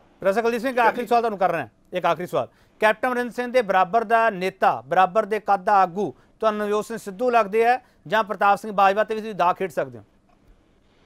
ਦੇਖੋ ਮੈਂ ਮੈਂ ਤੇ ਪਹਿਲਾਂ ਗੱਲ ਕਹੀ ਸੀ ਤੁਸੀਂ ਠੋਕਤੀ ਮੈਂ ਤੁਹਾਨੂੰ ਕਿਹਾ ਸੀ ਮੇਰੀ ਮੇਰੀ ਅਸੈਸਮੈਂਟ ਮੁਤਾਬਕ ਚਾਹੇ ਮੈਂ ਉਹ ਉਹ ਜਿਹੜੀ ਉਹ ਮੁੱਦਾ ਨਾ 85 ਵਾਲਾ ਮੈਂ ਉਹਨੂੰ ਸਵੀਕਾਰਦਾ ਨਹੀਂ ਹੈਗਾ। ਚਾਹੇ ਮੈਂ ਤਾਂ ਉਲਟ ਕਹਿ ਰਿਹਾ ਚਾਹੇ 85% ਮੁੱਦਿਆਂ ਤੇ ਪਾਰਟੀ ਨੇ ਡਿਲੀਵਰ ਨਾ ਕੀਤਾ ਹੋਵੇ ਪਰ ਸਾਰੇ ਬੰਦਿਆਂ ਚੋਂ ਕੈਪਟਨ ਤੋਂ ਵੱਡਾ ਇਹਨਾਂ ਲੀਡਰ ਇਹਨਾਂ ਕੋਲ ਠੀਕ ਨਹੀਂ ਹੈਗਾ ਠੀਕ ਮੇਰੇ ਠੀਕ ਠੀਕ ਹੈ ਕੁਲਦੀਪ ਸਿੰਘ ਜੀ। ਮੈਂ ਤੁਹਾਨੂੰ ਵਾਕਈ ਉਦੋਂ ਕਾਰਨ ਕਈ ਨੇ ਇੱਕ ਨਹੀਂ ਕਈ ਕਾਰਨ ਮੈਂ ਵਾਕਈ ਉਦੋਂ ਤੁਹਾਨੂੰ ਟੋਕਿਆ ਸੀ ਸਹੀ ਕਹਿ ਰਹੇ ਹੋ। ਮਾਲੀ ਸਾਹਿਬ ਸਰ ਕੈਪਟਨ ਅਮਰਿੰਦਰ ਸਿੰਘ ਤੋਂ ਤੇ ਬਾਦਲ ਸਾਹਿਬ ਤੋਂ ਬਾਹਰ ਸਿਆਸਤ ਨਹੀਂ ਜਾਣਦੇ ਨਹੀਂ ਮਾਲੀ ਸਾਹਿਬ। ਨਹੀਂ ਦੇਖੋ ਇੱਕ ਗੱਲ ਤਾਂ ਮੈਂ ਇਹ ਕਹਿਣੀ ਹਾਂ। ਚਾਹੁੰਦਾ ਕਿ ਪੰਜਾਬ ਇੱਕ ਤਾਂ ਹਾਲਾਤ ਬਹੁਤ ਬਦਲ ਰਹੇ ਨੇ। ਸਾਨੂੰ ਇਹ ਸਮਝਣਾ ਚਾਹੀਦਾ ਵੀ ਉਹ ਸਰਕਾਰ ਆ ਜਿਹੜੇ ਕਹਿੰਦੇ ਸੀ ਮੋਦੀ ਹੈ ਤੇ ਮੁਮਕਿਨ ਹੈ ਉਹਦਾ ਏਜੰਡਾ ਕਿਸਾਨ ਅੰਦੋਲਨ ਨੇ ਜਾਮ ਕਰਕੇ ਰੱਖਤਾ। ਦੂਜੀ ਗੱਲ ਇਹ ਧਿਆਨ ਚ ਰੱਖਣ ਦੀ ਲੋੜ ਆ ਵੀ ਪੰਜਾਬ ਦਾ ਰਿਸਪੌਂਸ ਸਿਸਟਮ ਆ ਜਿਹੜਾ ਉਹ ਹਮੇਸ਼ਾ ਹੀ ਦੇਸ਼ ਨਾਲੋਂ ਵੱਖਰਾ ਰਿਹਾ। ਇੱਥੇ ਜਿਹੜੀਆਂ ਗਿਣਤੀਆਂ ਮਿਣਤੀਆਂ ਨੇ ਉਹ ਰਵਾਇਤੀ ਤੌਰ ਤੇ ਕਾਮਯਾਬ ਨਹੀਂ ਹੋਈਆਂ। ਆਮ ਆਦਮੀ ਪਾਰਟੀ ਦਾ ਵਜੂਦ ਹੀ ਨਹੀਂ ਸੀ ਇੱਥੇ ਜਦੋਂ ਚਾਰ ਸੀਟ ਚਲੇ ਗਈ ਸੀ। ਪੰਜਾਬ ਦੀ ਸਿਚੁਏਸ਼ਨ ਇਹ ਆ ਵੀ ਕਿ ਖਿਲਾਫ ਪੰਜਾਬ ਬਦਲ ਦੀ ਤਲਾਸ਼ 'ਚ ਆ। ਇਹਨੂੰ ਅੱਜ ਬੰਦਿਆਂ ਦੀ ਲੋੜ ਨਹੀਂ ਇਹਨੂੰ ਏਜੰਡੇ ਦੀ ਲੋੜ ਆ।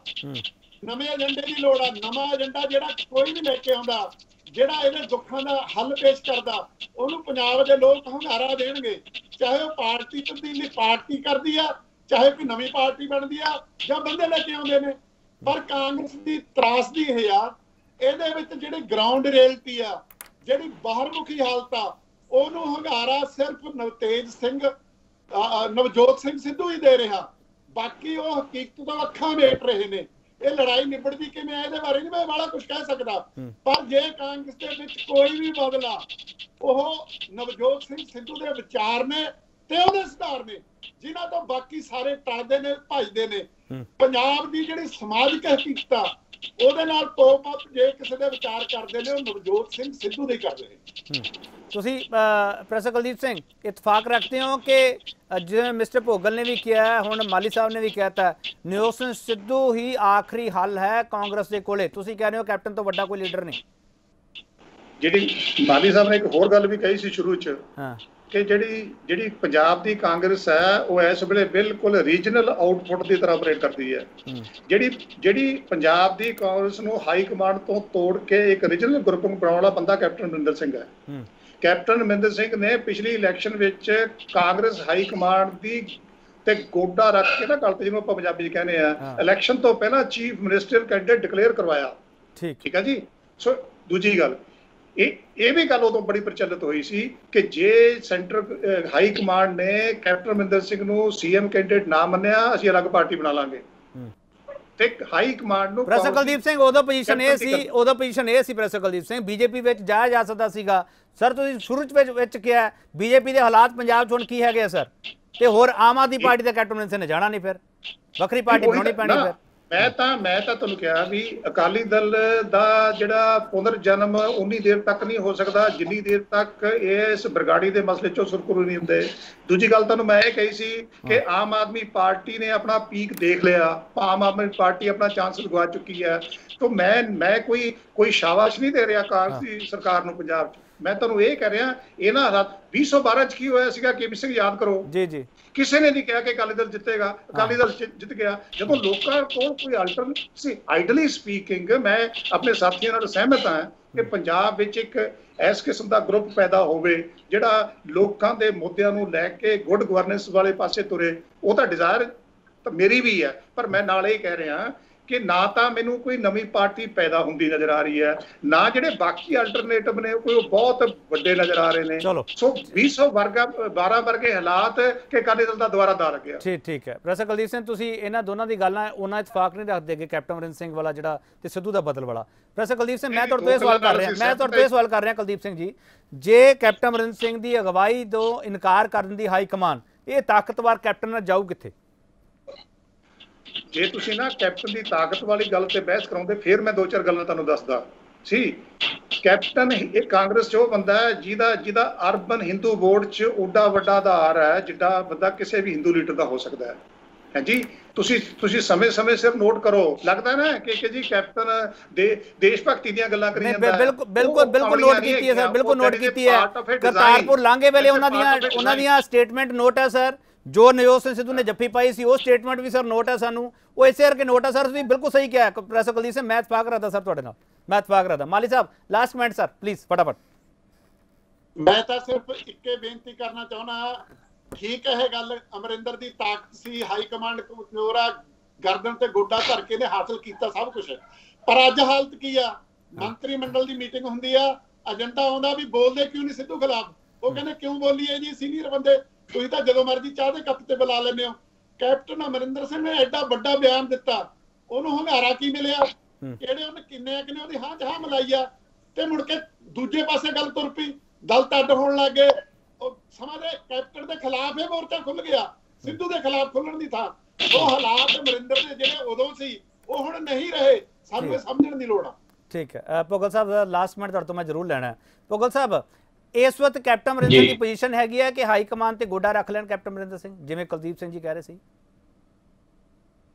ਮੈਂ ਇਸ ਦੋ ਗੱਲਾਂ ਕਹੂੰਗਾ। ਪ੍ਰੋਫੈਸਰ ਕੁਲਦੀਪ ਸਿੰਘ ਦੀ ਇਹ ਗੱਲ ਨਾਲ ਮੈਂ ਸਹਿਮਤ ਹਾਂ ਕਿ ਕੈਪਟਨ ਰਵਿੰਦਰ ਸਿੰਘ ਹਜੇ ਵੀ ਸਭ ਤੋਂ ਪਾਵਰਫੁਲ ਲੀਡਰ ਕਾਂਗਰਸ ਦੇ ਵਿੱਚ ਹੈਗਾ ਪੰਜਾਬ ਕਾਂਗਰਸ। ਔਰ ਉਹਦੇ ਨਾਲ ਨਾਲ ਉਹਨਾਂ ਨੂੰ ਅਰਬਨ ਹਿੰਦੂਸ ਦੀ ਵੋਟ ਹੈ ਔਰ ਮੈਂ ਇੱਥੋਂ ਤੱਕ ਕਹੂੰਗਾ ਕਿ ਉਹਨਾਂ ਨੂੰ ਜਿਹੜੀ ਆਰਐਸਐਸ ਬੀਜੇਪੀ ਦੀ ਵੀ ਟੈਸਟ ਸਪੋਰਟ ਇਸ ਗਵਰਨਮੈਂਟ ਨੂੰ ਹੈਗੀ ਆ ਔਰ ਜੇ ਇਲੈਕਸ਼ਨ ਦੇ ਵਿੱਚ ਕੈਪਟਨ ਨੂੰ ਕੋਈ ਚੈਲੰਜ ਆਉਂਦਾ ਤਾਂ ਪੰਜਾਬ ਦਾ ਆਰਐਸਐਸ ਬੀਜੇਪੀ ਕਾਡਰ ਜਿਹੜਾ ਹੈਗਾ ਉਹ ਉਹਨਾਂ ਦੇ ਹੱਕ ਦੇ ਵਿੱਚ ਭੁਗਤੂਗਾ ਇਸ ਤਰ੍ਹਾਂ ਦੀ ਇੰਡੀਕੇਸ਼ਨ ਪੂਰੀ ਕਲੀਅਰ ਹੈਗੀ ਹੈ।